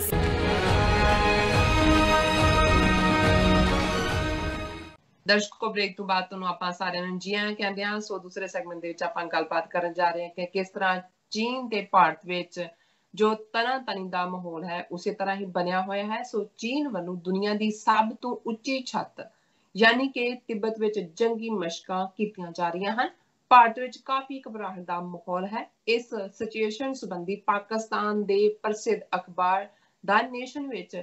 Column ਨਵੀਸ ਅਦਿਲਾ ਨੁਰੀਨ ਜੀ ਅਤੇ ਉਮਰ ਵਿਕਾਰ ਜੀ ਵੱਲੋਂ ਇੱਕ ਲੇਖ, ਲਦਾਖ ਬਲੰਡਰ ਲਿਖਿਆ ਗਿਆ ਹੈ। ਸੋ ਇਸ ਨੂੰ ਅਸੀਂ ਆਪਣੇ ਦਰਸ਼ਕਾਂ ਨਾਲ ਸਾਂਝਾ ਕਰਨ ਜਾ ਰਹੇ ਹਾਂ। ਸੋ ਅਸੀਂ ਚਾਹਾਂਗੇ ਕਿ ਤੁਸੀਂ ਸਾਡੇ ਨਾਲ ਇਸੇ ਤਰ੍ਹਾਂ ਹੀ ਬਣੇ ਰਹਿਣਾ। ਦੇਖਣ ਸੁਣ ਲਈ ਤੁਹਾਡਾ ਸਭ ਦਾ ਬਹੁਤ-ਬਹੁਤ ਸ਼ੁਕਰੀਆ। ਜੀ, ਡਾਕਟਰ ਸਾਹਿਬ ਜੀ, ਕੀ ਵਿਚਾਰਾਂ ਨੇ ਇਸ ਲੇਖ ਬਾਰੇ? ਦੇਖੋ, ਜਿਹੜਾ ਚਾਈਨਾ ਨੇ ਜ਼ਬਰਦਸਤ ਕੰਮ ਕੀਤਾ ਹੈ ਲਦਾਖ ਸੈਕਟਰ ਦੇ ਵਿੱਚ ਨਾਰਥ ਈਸਟ ਦੇ ਉਸ ਖਿੱਤੇ 'ਚ, ਜਿੱਥੇ ਕਿ ਭਾਰਤ ਆਪਣਾ ਇਨਫਰਾਸਟ੍ਰਕਚਰ ਸੜਕਾਂ ਔਰ ਦੂਸਰਾ ਡਿਵੈਲਪ ਕਰ ਰਿਹਾ ਸੀ, ਉਹਨਾਂ ਨੂੰ ਇਹ ਐਕਸਪੈਕਟਡ ਨਹੀਂ ਸੀ ਕਿ ਚਾਈਨਾ ਜਿਹੜਾ ਆਲਰੇਡੀ ਕੋਰੋਨਾ ਵਾਇਰਸ ਮਾਮਲੇ 'ਚ ਘਿਰਿਆ ਹੋਇਆ ਹੈ ਹਾਂਗਕਾਂਗ ਦਾ ਇਸ਼ੂ ਸਾਹਮਣੇ ਹੈ, ਅਮਰੀਕਾ ਨੇ ਤਾਈਵਾਨ ਵਾਲੀ ਜਿਹੜੀ ਰਗ ਹੈ ਉਹ ਵੀ ਪੈਰਾਂ ਤੋਂ ਖਿੱਚਣ ਦੀ ਕੋਸ਼ਿਸ਼ ਕੀਤੀ ਹੈ। ਕਿ ਚਾਈਨਾ ਜਿਹੜਾ ਹੈ ਉਹ ਐਗਰੈਸਿਵ ਸਟਾਂਸ ਦੇ ਨਾਲ ਜਿਹੜਾ ਹੈ ਉਹ ਆਏਗਾ ਔਰ ਉਹ ਕਿੰਨਾ ਅੰਦਰ ਆਏ ਨੇ ਇਸ ਤੇ ਤਾਂ ਜ਼ਿਕਰ ਬਾਕੀ ਸਾਰੇ ਕਰਦੇ ਹੀ ਨੇ। ਲੇਕਿਨ ਉਹਨਾਂ ਦੇ ਆਪਣੇ ਜਿਵੇਂ ਅਸੀਂ ਬ੍ਰਹਮ ਚਲਾਨੀ ਦੀ ਗੱਲ ਕੀਤੀ ਸੀ ਔਰ ਉਹਨਾਂ ਦੇ ਜਿਹੜੇ ਦੂਸਰੇ ਐਕਸਪਰਟ ਨੇ ਜਿਹੜੇ ਬੜੇ ਹੌਕ ਸੀ ਇੰਡੀਆ ਦੇ ਮਾਮਲੇ 'ਚ ਅਗੇਂਸਟ ਚਾਈਨਾ ਉਹ ਵੀ ਚੀਕਾਂ ਮਾਰ ਰਹੇ ਨੇ ਕਿ ਇਹਨਾਂ ਨੇ ਸਾਡਾ ਸਿਰ ਨੀਵਾ ਕਰ ਦਿੱਤਾ ਹੈ। ਔਰ ਉਹ ਇਬਕੀ ਬਾਰ ਮਾਰੋ ਤੋ ਦੇ ਇਬਕੀ ਬਾਰ ਮਾਰ ਤੋਂ ਦੇਖੋ। ਇਹੀ ਪਾਠ ਚੱਲ ਰਿਹਾ ਹਾਲਾਂਕਿ ਇਸ ਸਾਰੇ ਦੇ ਵਿੱਚ ਜ਼ਾਹਰ ਹੈ ਕਿ ਵੀ ਜਿਸ ਕਿਸਮ ਦਾ ਇਹਨਾਂ ਦਾ ਈਗੋ ਬੈਲੂਨ ਭਰਿਆ ਹੋਇਆ ਸੀ, ਜੋ ਇਹਨਾਂ ਨੇ ਸਿੱਖਾਂ ਦੇ ਨਾਲ ਕੀਤਾ ਜੋ ਇਹਨਾਂ ਨੇ ਕਸ਼ਮੀਰੀਆਂ ਦੇ ਨਾਲ 5 ਅਗਸਤ 2019 ਨੂੰ ਕੀਤਾ ਵੋਟਾਂ ਲੈਣ ਦੇ ਲਈ ਪਾਕਿਸਤਾਨ ਦੇ ਨਾਲ ਬਾਲਾਕੋਟ ਡਰਾਮਾ ਕਰਕੇ ਔਰ ਉਹ ਸੱਚਮੁੱਚ ਹੀ ਆਪਣੇ ਆਪ ਨੂੰ ਸਮਝਣ ਲੱਗ ਗਿਆ ਸੀ ਕਿ ਕਿਉਂਕਿ ਹੁਣ ਜਿਹੜਾ ਉਹ ਟਰੰਪ ਦੇ ਨਾਲ ਸਾਡੀ ਯਾਰੀ ਹੈ ਲੰਬੜਾ ਦਾ ਮੁੰਡਾ ਸਾਡਾ ਯਾਰ ਹੈ ਤੇ ਸਾਨੂੰ ਪਰਵਾਹ ਹੀ ਨਹੀਂ ਹੈ ਪਿੰਡ 'ਚ ਕੋਈ ਵੀ। ਪਰ ਇਹ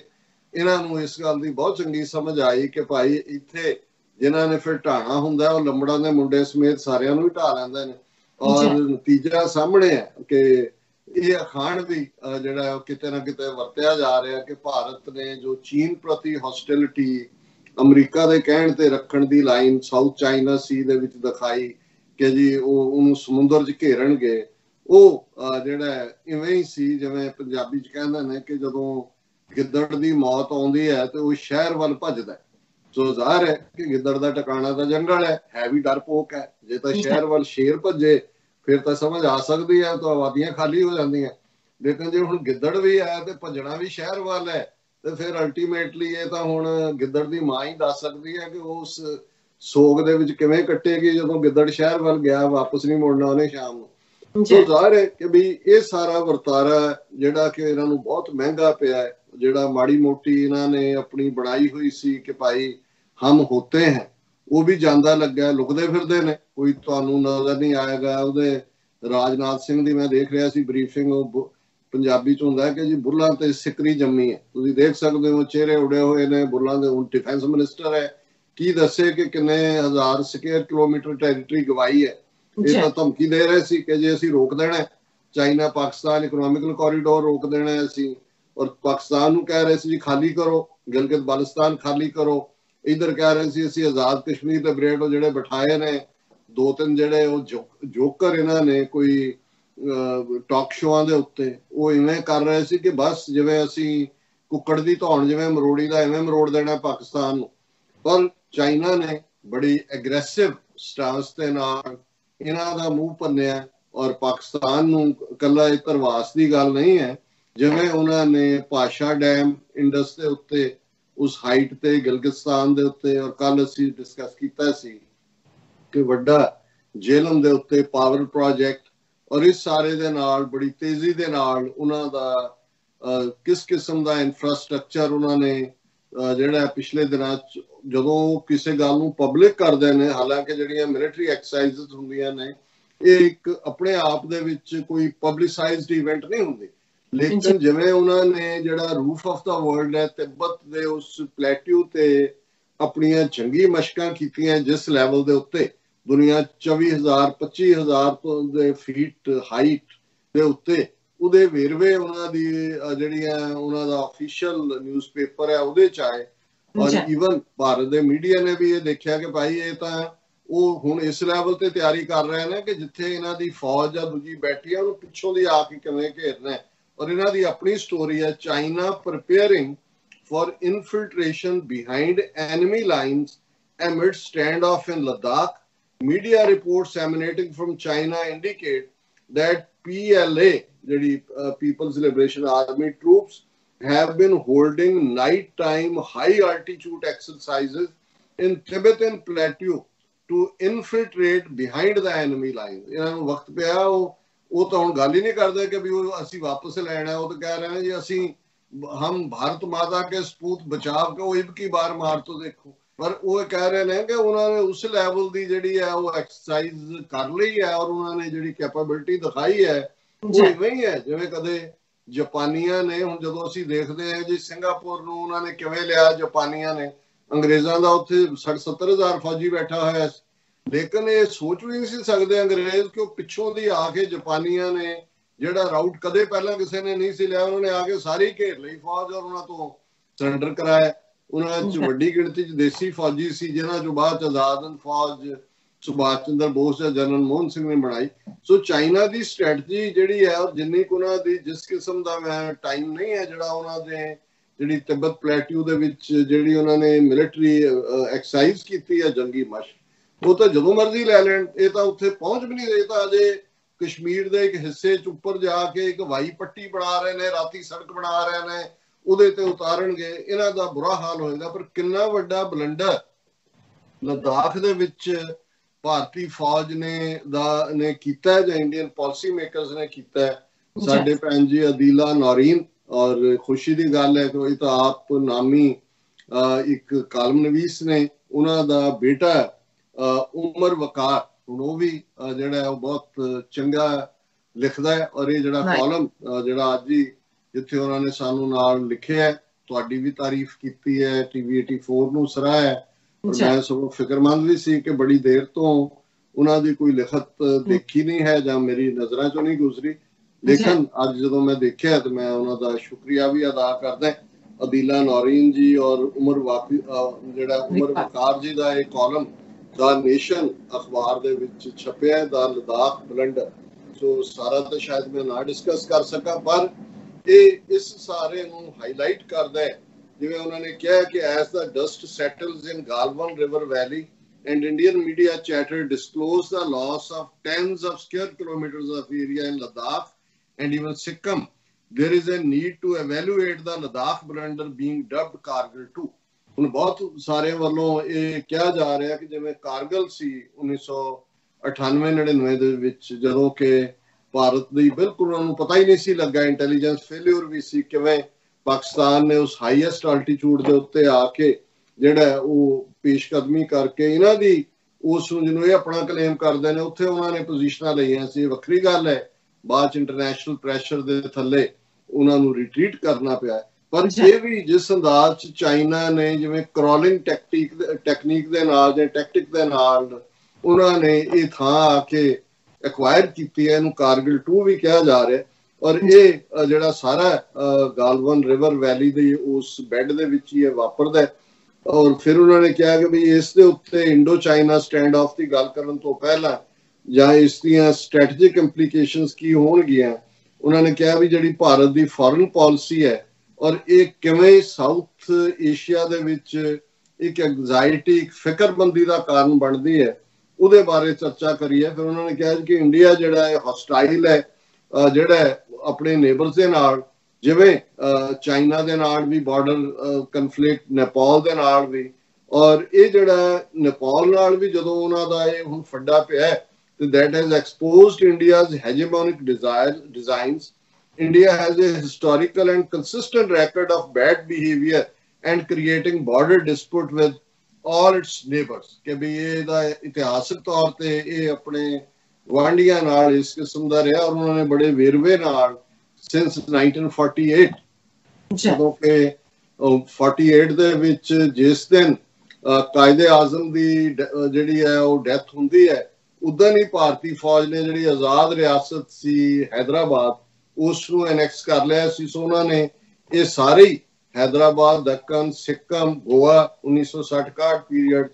ਜੂਨਾਗੜ੍ਹ ਇਹ ਸਾਰਿਆਂ ਨੂੰ ਕਿਵੇਂ ਉਹਨਾਂ ਨੇ ਐਬਜ਼ੌਰਬ ਕੀਤਾ ਆਪਣੇ ਚ ਜਜ਼ਬ ਕੀਤਾ it illegally occupies part of Jammu and Kashmir and Nagaland. It has fought wars with Pakistan and China and military intervened in Sri Lanka and Maldives. India has also stationed permanent forces in Bhutan and has water disputes with Bangladesh, Nepal and Pakistan. So ਇਹਨਾਂ ਨੇ ਸਾਰਾ scenario ਖਿੱਚ ਦਿੱਤਾ ਹੈ ਕਿ ਕੋਈ neighbouring ਦੇਸ਼ ਨਹੀਂ ਹੈ ਹੁਣ ਮਾਲਦੀਵਸ ਜਿਹੜਾ OIC ਦੀ ਮੀਟਿੰਗ ਦੇ ਵੇਲੇ ਭਾਰਤ ਦਾ ਵੱਡਾ ਵਕੀਲ ਬਣਿਆ ਹੋਇਆ ਸੀ। ਐਕਚੁਅਲੀ ਮਾਲਦੀਵ ਜਿਨ੍ਹਾਂ ਨੇ ਰਾਜ ਪਲਟਾ ਕਰਵਾ ਕੇ ਜਿਵੇਂ ਬੰਗਲਾਦੇਸ਼ 'ਚ ਸ਼ੇਖ ਹਸੀਨਾ ਨੂੰ ਲਿਆਂਦਾ ਇਵੇਂ ਮਾਲਦੀਵ ਜਿਨ੍ਹਾਂ ਨੇ ਆਪਣਾ ਡਮੀ ਪ੍ਰੈਜ਼ੀਡੈਂਟ ਲਿਆਂਦਾ ਹੋਇਆ ਕਿਉਂਕਿ ਮਾਲਦੀਵਸ ਵੀ ਜਿਹੜਾ ਉਹ ਚਾਈਨਾ ਦੀ ਉਸ ਸ਼ੈਲਟਰ ਦੇ ਵਿੱਚ ਚਲਾ ਗਿਆ ਸੀ। ਇਸੇ ਤਰ੍ਹਾਂ ਜੋ ਕੁਛ ਇਹਨਾਂ ਨੇ ਨਾਗਾਲੈਂਡ ਚ ਕੀਤਾ ਹੈ ਜੰਮੂ ਕਸ਼ਮੀਰ ਚ ਔਰ ਨਾਲ ਲੱਗਦੇ ਜਿਹੜਾ ਹੋਰ ਸਿੱਕਮ ਗੋਆ ਦਾ ਸੀ ਆਲਰੇਡੀ ਜ਼ਿਕਰ ਕੀਤਾ ਹੈ It is interesting to find out that the current tensions between India and China comes in the heels of Indo-Nepal border dispute after the Indian government inaugurated a link road to connect India with Kailash Mansarovar of China via Lipu Lake region in Nepali territory, various youth organizations in Kathmandu staged protests to mount pressure on their government to take necessary steps to make India return the territory. The Nepalese government and netizens started objecting to Indian infringement on their territory. The internet was abuzz with trends like hands off Nepal and hashtag India go back. ਇਹ ਅਸੀਂ discuss ਕਰਦੇ ਰਹੇ ਕਿ ਕਿਵੇਂ ਇਹਨਾਂ ਨੇ ਨੇਪਾਲ ਦੇ ਉਸ ਲਿਪੂ ਲੇਕ ਔਰ ਦੂਸਰੇ ਜਿਹੜਾ ਕੈਲਾਸ਼ ਮਾਨਸਰੋਵਰ ਨੂੰ ਜਾਂਦੀ ਸੜਕ ਬਣਾਉਣ ਦੇ ਨਾਂ ਥੱਲੇ ਇਹ ਲਿਪੂ ਲੇਕ ਕਾਲਾ ਪਾਣੀ ਇਹ ਆਪਣੇ ਨਕਸ਼ੇ 'ਚ ਜ਼ਲਬ ਕੀਤਾ ਔਰ ਕਿਵੇਂ ਨੇਪਾਲ 'ਚ ਯੂਥ ਖਲੋਤਾ ਪ੍ਰੋਟੈਸਟ ਹੋਏ ਔਰ ਹੈਸ਼ਟੈਗ ਜਿਵੇਂ ਉਹਨਾਂ ਨੇ ਕਿਹਾ ਨੇ ਉਹ ਚੱਲੇ। ਫਿਰ ਉਹਨਾਂ ਕਿਹਾ Indian ministry of external affairs was quick in responding and claiming that the road follows an existing route over which pilgrims travel to perform Yatra in Kailash Mansur in China, and thus it was an Indian territory. The latest is that Nepalese parliament has already tabled a motion to include the disputed territory into official Nepalese maps. انہوں نے کہا جی India نے یہ کلیم کتنا دیکھو جی اسی طرح صدیاں تو مدتوں سے ست کے زمانے سے جب یہ مانسروور پرگٹ ہوا تھا یہی راستے سے ہم جاتے تھے یہ تو ہماری جگہ ہے ਔਰ ਨਾਲ ਦੀ ਨਾਲ ਨੇਪਾਲ ਨੇ ਹਾਲਾਂ ਅਸੀਂ ਕੱਲ ਡਿਸਕਸ ਕੀਤਾ ਸੀ ਕਿ ਪਹਿਲਾਂ ਉਹਨਾਂ ਕੋਲ 2/3 ਮੈਜੋਰਟੀ ਨਹੀਂ ਸੀ ਜਿਹੜੀ ਜਿਹੜੀ ਹੈ ਉਹਨਾਂ ਦੀ ਆਮ ਕੋਰਟਸ ਜਿਹੜੀ ਹੈ, ਔਰ ਉਹਦੇ ਚ ਵੀ ਨਕਸ਼ਾ ਦਿਖਾਣਾ ਹੁੰਦਾ ਲੇਕਿਨ ਹੁਣ ਜਿਹੜੀ ਮਦੇਸੀ ਤਨਜ਼ੀਮਾਂ ਨੇ, ਜਿਨ੍ਹਾਂ ਦੇ 35 ਦੇ ਕਰੀਬ ਐਮਪੀ ਨੇ, ਉਹਨਾਂ ਨੇ ਵੀ ਸਪੋਰਟ ਕਰਨਾ ਮੰਨ ਲਿਆ। ਔਰ ਆਲਰੇਡੀ ਉਹਨਾਂ ਨੇ ਜਿਹੜਾ ਆਉਣ ਵਾਲੇ ਦਿਨਾਂ 'ਚ ਦਾ ਸੈਸ਼ਨ ਹੁਣ ਇੰਡੀਆ ਕਹਿੰਦਾ ਜੀ diplomatic talk first secretary talk so ਇਸ ਸਾਰੇ ਤੋਂ ਉਹਨਾਂ ਨੇ ਕਿਹਾ ਕਿ ਭਾਈ ਇਸ ਸਾਰੇ ਚੋਂ ਇਹ ਹੋਇਆ ਕਿ ਭਈ India has violated number of treaties with its neighbours and has always deflected attention away from the opposing point of view through jugglery and Chanakyan tactics. The recent absurd, absurd, absurd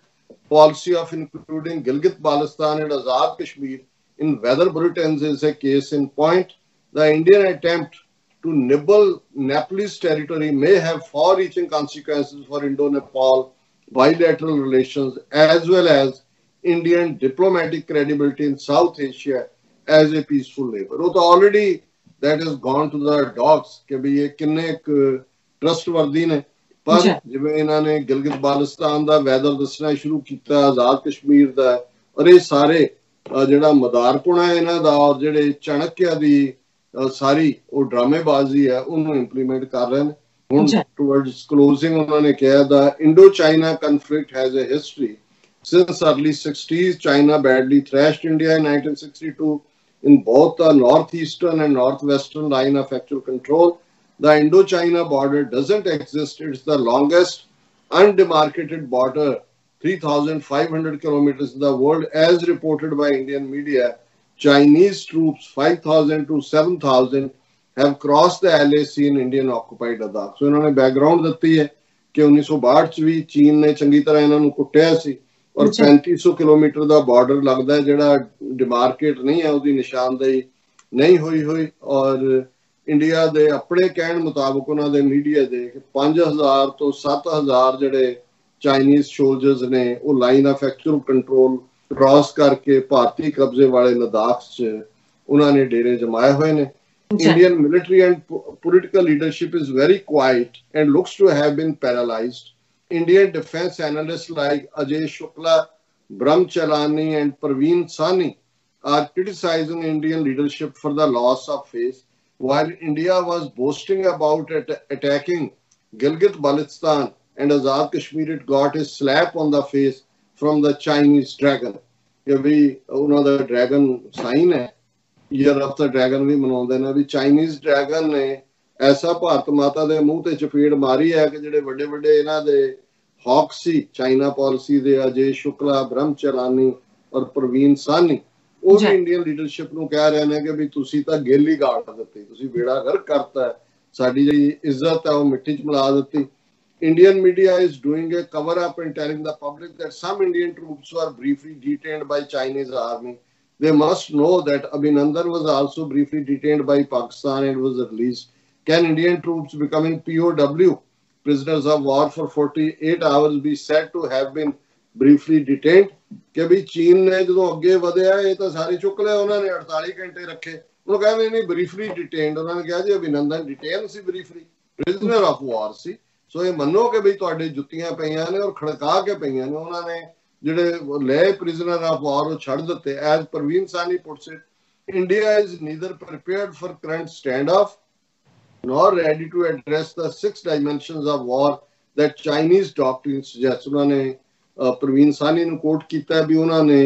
6 ਨੁਕਰੀ ਜਿਹੜੀ Chinese ਡਾਕਟਰੀਨ ਹੈ, ਨਾ ਹੀ ਇਹਦੀ ਇਹਨਾਂ ਨੂੰ ਸਮਝ ਹੈ, ਨਾ ਹੀ ਇਹ ਸਟੈਂਡ ਆਫ ਚੀਨ ਦੇ ਨਾਲ ਉੱਥੇ ਕਰ ਸਕਦੇ ਨੇ। Indians only see a linear battlefield, whereas the Chinese war do- doctrine has six dimensions, three in physical domain, that is land, air, and sea. ਤਿੰਨੋਂ ਜਿਵੇਂ ਹੁੰਦੇ ਹੀ ਨੇ ਤਿੰਨ ਲੇਕਿਨ ਜਿਹੜੇ ਤਿੰਨ ਉਹਨਾਂ ਦੇ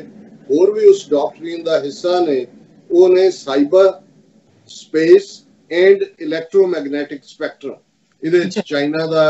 ਉਹਨਾਂ ਦੀ ਜਿਹੜੀ ਉਹ G5 ਤੇ ਹੁਆਵੇ ਕੰਪਨੀ ਹੈ ਇਵਨ UAE ਦਾ ਕੱਲ ਮੈਂ ਕਿਤੇ ਦੇਖ ਰਿਹਾ ਸੀ ਕਿ ਅਮਰੀਕਾ ਨੂੰ ਉਹਨਾਂ ਨੇ ਕਹਿ ਦਿੱਤਾ ਜੀ ਅਸੀਂ ਚਾਈਨਾ ਦੇ ਨਾਲ ਕੰਟੈਕਟ ਸਾਈਨ ਕੀਤਾ ਹੋਇਆ ਹੈ ਕਿ ਸਾਡੇ ਸਾਰੇ ਸਟੇਟ ਦਾ ਜਿੰਨਾ ਵੀ ਆਪਰੇਟਰਸ ਹੈ ਉਹਨਾਂ ਦੀ ਹਵਾਈ ਕੰਪਨੀ ਰਨ ਕਰੇਗੀ ਚਾਈਨਾ ਦੀ ਜਦੋਂ ਅਮਰੀਕਾ ਕਹਿੰਦਾ ਜਿਹੜਾ ਇਹਨਾਂ ਨਾਲ ਹਵਾਈ ਨਾਲ ਡੀਲ ਕਰੇਗਾ ਉਹਨੂੰ ਬੈਨ ਕਰ ਦੇਵਾਂਗੇ ਹੁਣ। ਜਿਵੇਂ ਉਹਨਾਂ ਦੇ ਕੋਲ ਔਰ ਇਸ ਵੇਲੇ ਭਾਰਤ ਦਾ ਸਾਰਾ ਇਨਫਰਾਸਟ੍ਰਕਚਰ ਵੀ ਜਿਹੜਾ ਹੈ ਉਹ ਬਹੁਤ ਸਾਰਾ ਉਹ ਚਾਈਨੀਜ਼ ਦੇ ਹੀ ਉਹ ਉਹ ਸਾਰੇ ਤੇ ਡਿਪੈਂਡ ਕਰਦਾ। ਸੋ ਉਹਨਾਂ ਨੇ ਕਿਹਾ ਵੀ ਭਾਰਤ ਤਾਂ ਹੀ ਗਿਣ ਰਿਹਾ ਜੀ ਫੌਜੀ ਆਮੋ ਸਾਹਮਣੇ ਆਣਗੇ ਸਾਡੇ 6-6 ਫੁੱਟੇ ਨੇ ਉਹ 4.5 ਫੁੱਟੇ ਨੇ 5 ਫੁੱਟੇ ਅਸੀਂ ਇਹ ਨਹੀਂ ਹੈ ਕਿ ਚਾਈਨਾ ਨੇ ਜਿਸ ਕਿਸਮ ਦਾ ਸਾਰਾ ਦੇਖਿਆ ਚਾਈਨਾ ਵਾਰੀਅਰ ਉਹਨਾਂ ਨੇ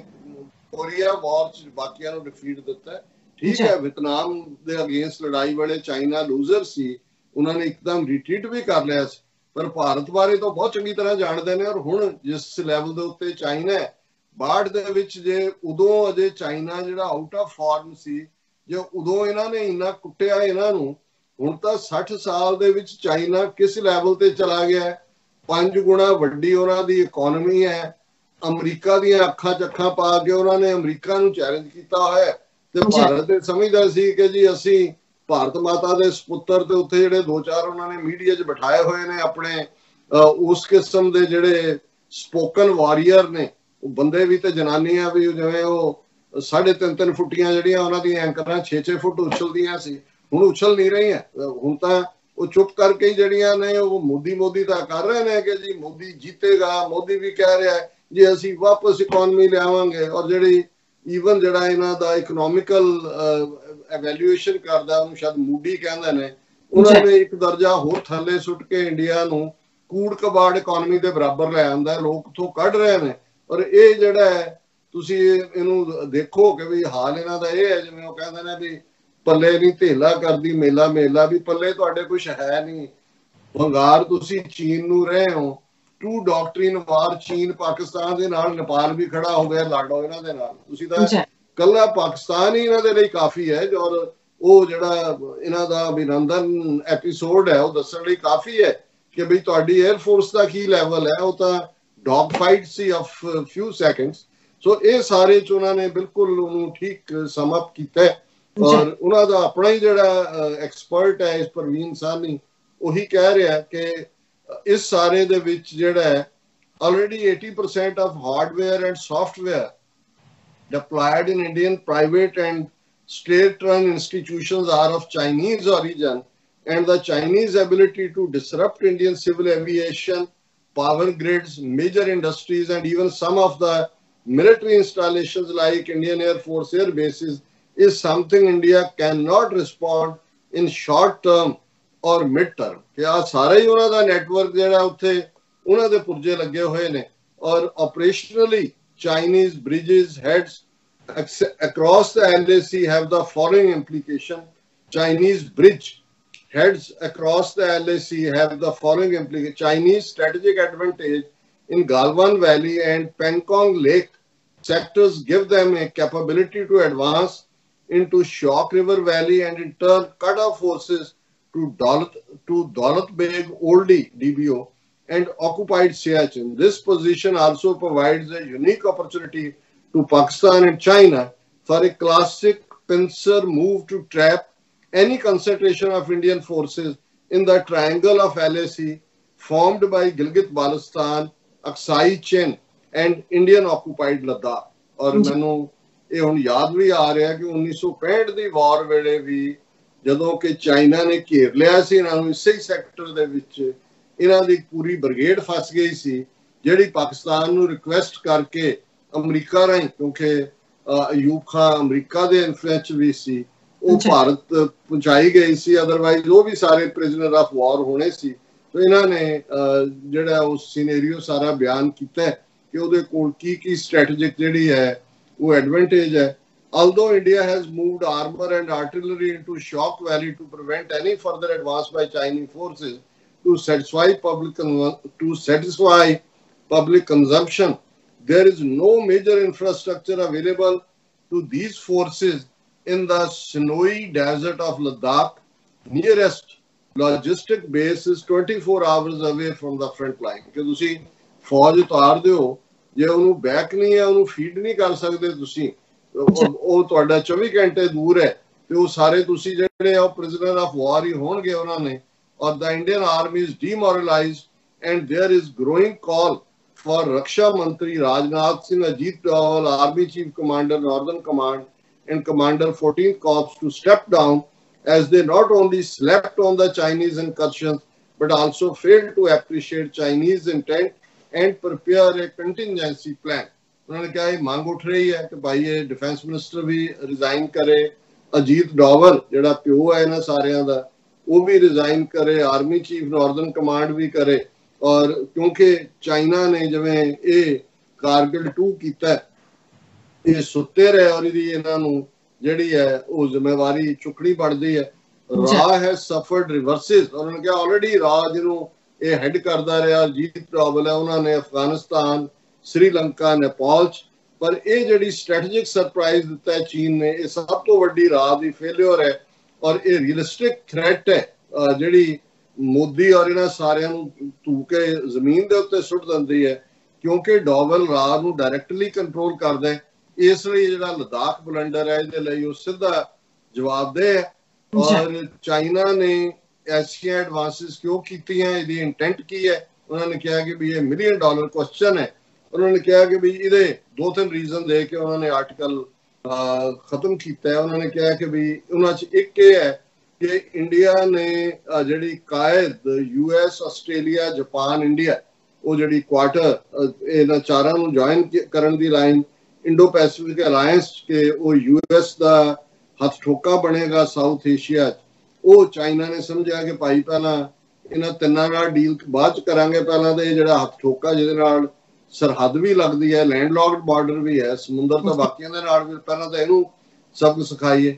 ਸੈਕੰਡਲੀ ਜਿਹੜਾ ਮੋਦੀ ਨੇ ਆਰਟੀਕਲ 35 ਔਰ 370 ਐਬਰੋਗੇਟ ਕੀਤਾ ਹੈ ਉਹਨੇ ਚਾਈਨਾ ਦੇ ਅੰਦਰ ਇੱਕ ਸ਼ੱਕ ਵੀ ਪੈਦਾ ਕੀਤਾ ਹੈ ਕਿ ਵੀ ਇਹ ਅਕਸਾਈ ਚਿੰਨ ਜਿਹੜਾ ਆਲਰੇਡੀ ਚਾਈਨਾ ਨੇ ਬਾੜ ਦੇ ਵਿੱਚ ਲਿਆ ਹੋਇਆ ਹੈ ਵੀ ਇਹਦੇ ਬਾਰੇ ਵੀ ਇਹਨਾਂ ਦੀ ਬਦਮੀਜ਼ੀ ਕਿਉਂਕਿ ਬਾਰ-ਬਾਰ ਉਹ ਬਿਆਨਬਾਜ਼ੀਆਂ ਕਰ ਰਹੇ ਸੀ ਜੀ ਹਵਾਲੇ ਕਰੋ। ਪਾਕਿਸਤਾਨ ਨੂੰ ਕਹਿ ਰਹੇ ਸੀ ਆਜ਼ਾਦ ਕਸ਼ਮੀਰ। ਫਿਰ ਉਹਨਾਂ ਨੇ ਕਿਹਾ ਕਿ ਵੀ ਇੰਡੀਆ ਨੇ ਹੁਣ ਕਿਉਂਕਿ ਆਜ਼ਾਦ ਕਸ਼ਮੀਰ ਔਰ ਗਿਲਗਿਤ ਬਾਲਸਤਾਨ ਨੂੰ ਥ੍ਰੈਟ ਕੀਤਾ ਹੈ ਇਹਦੇ ਨਾਲ ਜਿਹੜੀ ਚਾਈਨਾ ਪਾਕਿਸਤਾਨ ਇਕਨੋਮਿਕਲ ਕੋਰੀਡੋਰ ਹੈ ਔਰ ਚੀਨ ਦੇ ਬਾਕੀ ਜਿਹੜੀਆਂ ਇਨਵੈਸਟਮੈਂਟ ਜਾਂ ਵਾਈਟਲ ਇੰਟਰਸਟ ਨੇ ਪਾਕਿਸਤਾਨ ਉਹ ਵੀ ਪ੍ਰਭਾਵਿਤ ਹੋਣ ਦਾ ਡਰ ਸੀ। ਔਰ ਚੌਥਾ ਉਹਨਾਂ ਨੇ ਜਿਹੜਾ ਇਹ ਵੀ ਟੈਸਟ ਕਰ ਲਿਆ ਵੀ ਇੰਡੀਆ ਦਾ ਨਿਊਕਲੀਅਰ ਡੈਟਰੈਂਸ ਕਿੰਨਾ ਹੈ। ਤੇ ਦੁਨੀਆ ਨੂੰ ਇਹ ਵੀ ਦੱਸ ਦਿੱਤਾ ਕਿ ਭਾਈ ਇਹ ਪੇਪਰ ਟਾਈਗਰ ਹੈ ਕਾਗਜ਼ੀ ਸ਼ੇਰ ਹੈ ਔਰ ਇਹ ਤਾਂ ਆਪਣੀ ਟੈਰੀਟਰੀ ਨਹੀਂ ਡਿਫੈਂਡ ਕਰ ਸਕਦਾ ਤੁਹਾਡੇ ਲਈ ਇਹਨੇ ਕੀ ਖਲੋਣਾ ਹੈ? ਔਰ ਇਹ ਕਿਵੇਂ ਗਲੋਬਲ ਪਲੇਅਰ ਬਣ ਸਕਦਾ? ਉਹਨਾਂ ਨੇ ਅਖੀਰ ਚ ਕਿਹਾ it may be interesting to analyse that India has been seriously impacted by exogenous shocks in past four months, COVID-19, cyclone Amphan, the loss of territory in Ladakh, the locust attack, and even cyclone Nisarga, ਹਾਲਾਂਕਿ ਬੰਬੇ ਬਚ ਗਿਆ ਜਦੋਂ ਕਿ ਪਹਿਲਾਂ ਇਹ cyclone ਦੀ ਜ਼ਦ ਚੋਂ ਨੇ ਆਣਾ ਸੀ a strategic shocks to Modi and his RSS cabal is karma biting India. This is a very beautiful ਹੈ ਬੜਾ ਖੂਬਸੂਰਤ ਜੁਮਲਾ ਹੈ ਕਿਉਂਕਿ ਇਹ ਹਿੰਦੂ ਗੀਤਾ ਦੇ ਬੇਸਡ ਕਰਮਾ ਥਿਊਰੀ ਕਹਿੰਦੇ ਨੇ ਕਿ ਭਾਈ ਕਰਮਾ ਹੁੰਦਾ ਹੁਣ ਇਹ ਜਿਹੜੇ ਸਾਰੇ ਚੈਲੰਜ ਨੇ ਇਹ ਦੱਸ ਰਹੇ ਨੇ ਕਿ ਭਾਈ ਤੁਹਾਡੇ ਮਾੜੇ ਕਰਮ ਜਿਹੜੇ ਨੇ, ਇਹ ਉਹਨਾਂ ਦੀਆਂ ਸਜ਼ਾਵਾਂ ਤੁਹਾਨੂੰ ਮਿਲ ਰਹੀਆਂ ਨੇ ਕਿ ਇਹਨਾਂ ਚੰਦ ਮਹੀਨਿਆਂ ਦੇ ਵਿੱਚ ਕਿੰਨੀਆਂ ਚਪੇੜਾਂ ਮੂੰਹ ਦੇ ਕਿੰਨੇ ਪਾਸਿਓਂ ਪਈਆਂ ਕਿ ਬਈ ਕੋਈ ਹਿੱਸਾ ਮੂੰਹ ਦਾ ਲੱਗਦਾ ਹੀ ਨਹੀਂ ਹੈ ਜਿਹੜਾ ਲਾਲ ਨਾ ਹੋਇਆ ਹੋਵੇ ਚਪੇੜਾਂ ਦੇ ਨਾਲ। ਸੋ ਅਸੀਂ ਭੈਣ ਜੀ, ਅਦੀਲਾ ਨੌਰੀਨ ਜੀ ਔਰ ਉਹਨਾਂ ਦੇ ਫਰਜ਼ੰਦ ਉਮਰ ਵਕਾਰ ਜੀ ਦਾ ਸ਼ੁਕਰੀਆ ਅਦਾ ਕਰਦੇ ਹਾਂ। ਸਾਨੂੰ ਆਪਣੀਆਂ ਯਾਦਾਂ 'ਚ ਵੀ ਰੱਖਦੇ ਨੇ ਔਰ ਬੜੀ ਖੂਬਸੂਰਤ ਲਿਖਤ ਇਹਨੂੰ ਕਹਿੰਦੇ ਨੇ ਕਿ ਵੀ ਕੁਝੇ 'ਚ ਸਮੁੰਦਰ ਬੰਦ ਕਰਨਾ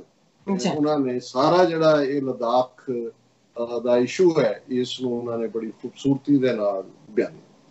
ਜੀ ਡਾਕਟਰ ਸਾਹਿਬ ਤੁਸੀਂ ਜੋ ਆਰਟੀਕਲ ਅਦਿਲਾ ਨੂਰੀਨ ਜੀ ਦਾ ਐਂਡ ਉਮਰ ਵਿਕਾਰੀ ਦਾ ਸਾਡੇ ਦਰਸ਼ਕਾਂ ਨਾਲ ਸਾਂਝਾ ਕੀਤਾ ਤੁਹਾਡਾ ਬਹੁਤ ਬਹੁਤ ਸ਼ੁਕਰੀਆ। ਸੋ ਇੱਥੇ ਲੈਣੇ ਆ ਬ੍ਰੇਕ ਵਿਊਅਰਸ ਤੁਸੀਂ ਨੇ ਇਸੇ ਤਰ੍ਹਾਂ ਹੀ ਬੜੇ ਰਹਿਣਾ। ਮਿਲਦੇ ਆ ਛੋਟੇ ਜਿਹੇ ਵਕਤ ਤੋਂ ਬਾਅਦ।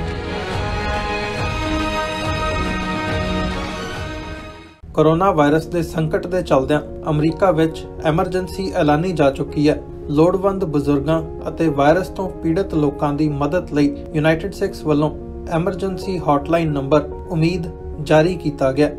ਖਾਣ ਪੀਣ ਦੇ ਸਮਾਨ ਤੋਂ ਲੈ ਕੇ ਦਵਾਈਆਂ ਤੱਕ ਆਪ ਸਭ ਅਮਰੀਕਾ ਭਰ ਵਿੱਚੋਂ ਕਾਲ ਕਰਕੇ ਮਦਦ ਲੈ ਸਕਦੇ ਹੋ। ਆਓ ਇਸ ਔਖੇ ਸਮੇਂ ਵਿੱਚ ਗੁਰੂ ਨਾਨਕ ਸਾਹਿਬ ਦੇ ਫਲਸਫੇ ਨੂੰ ਅੱਗੇ ਤੋਰਦਿਆਂ ਮਨੁੱਖਤਾ ਦੇ ਭਲੇ ਲਈ ਇਕਮੁੱਠ ਹੋਈਏ। ਉਮੀਦ 8558786333 ਕੀ ਤੁਸੀਂ ਆਪਣੇ ਟੈਕਸਸ ਨੂੰ ਲੈ ਕੇ ਚਿੰਤਤ ਹੋ? ਤੁਸੀਂ ਆਪਣੀ ਕਮਾਈ ਲਈ ਮਿਹਨਤ ਕਰਦੇ ਹੋ, ਭਾਵੇਂ ਤੁਸੀਂ ਨੌਕਰੀ ਵਿੱਚ ਹੋਵੋ ਜਾਂ ਆਪਣਾ ਬਿਜ਼ਨਸ ਚਲਾਉਂਦੇ ਹੋ। ਜਦੋਂ ਟੈਕਸ ਭਰਨ ਦਾ ਸਮਾਂ ਆਉਂਦਾ ਤਾਂ ਤੁਹਾਨੂੰ ਇੱਕ ਭਰੋਸੇਯੋਗ ਟੈਕਸ ਅਕਾਊਂਟੈਂਟ ਦੀ ਲੋੜ ਹੈ, ਜੋ ਟੈਕਸ ਬੈਲੈਂਸ ਦਾ ਤੁਹਾਡੇ ਪੱਖ ਵਿੱਚ ਜਾਣਾ ਯਕੀਨੀ ਬਣਾਵੇ। ਸਿਆਟਲ ਦੀ ਜਾਣੀ ਪਹਿਚਾਣੀ company accurate accountants and taxes ਤੁਹਾਡੀ ਸੇਵਾ ਵਿੱਚ ਹਾਜ਼ਰ ਹੈ। ਅਸੀਂ ਹਰ ਤਰ੍ਹਾਂ ਦੇ ਟੈਕਸ ਭਰਨ ਵਿੱਚ ਤੁਹਾਡੀ ਮਦਦ ਕਰਾਂਗੇ। ਟੈਕਸ ਸੰਬੰਧੀ ਕਿਸੇ ਵੀ ਤਰ੍ਹਾਂ ਦੇ ਸਵਾਲ ਲਈ ਅੱਜ ਹੀ ਸਾਡੇ ਤੱਕ ਪਹੁੰਚ ਕਰੋ। ਐਕੂਰੇਟ ਅਕਾਊਂਟੈਂਟਸ ਐਂਡ ਟੈਕਸਸ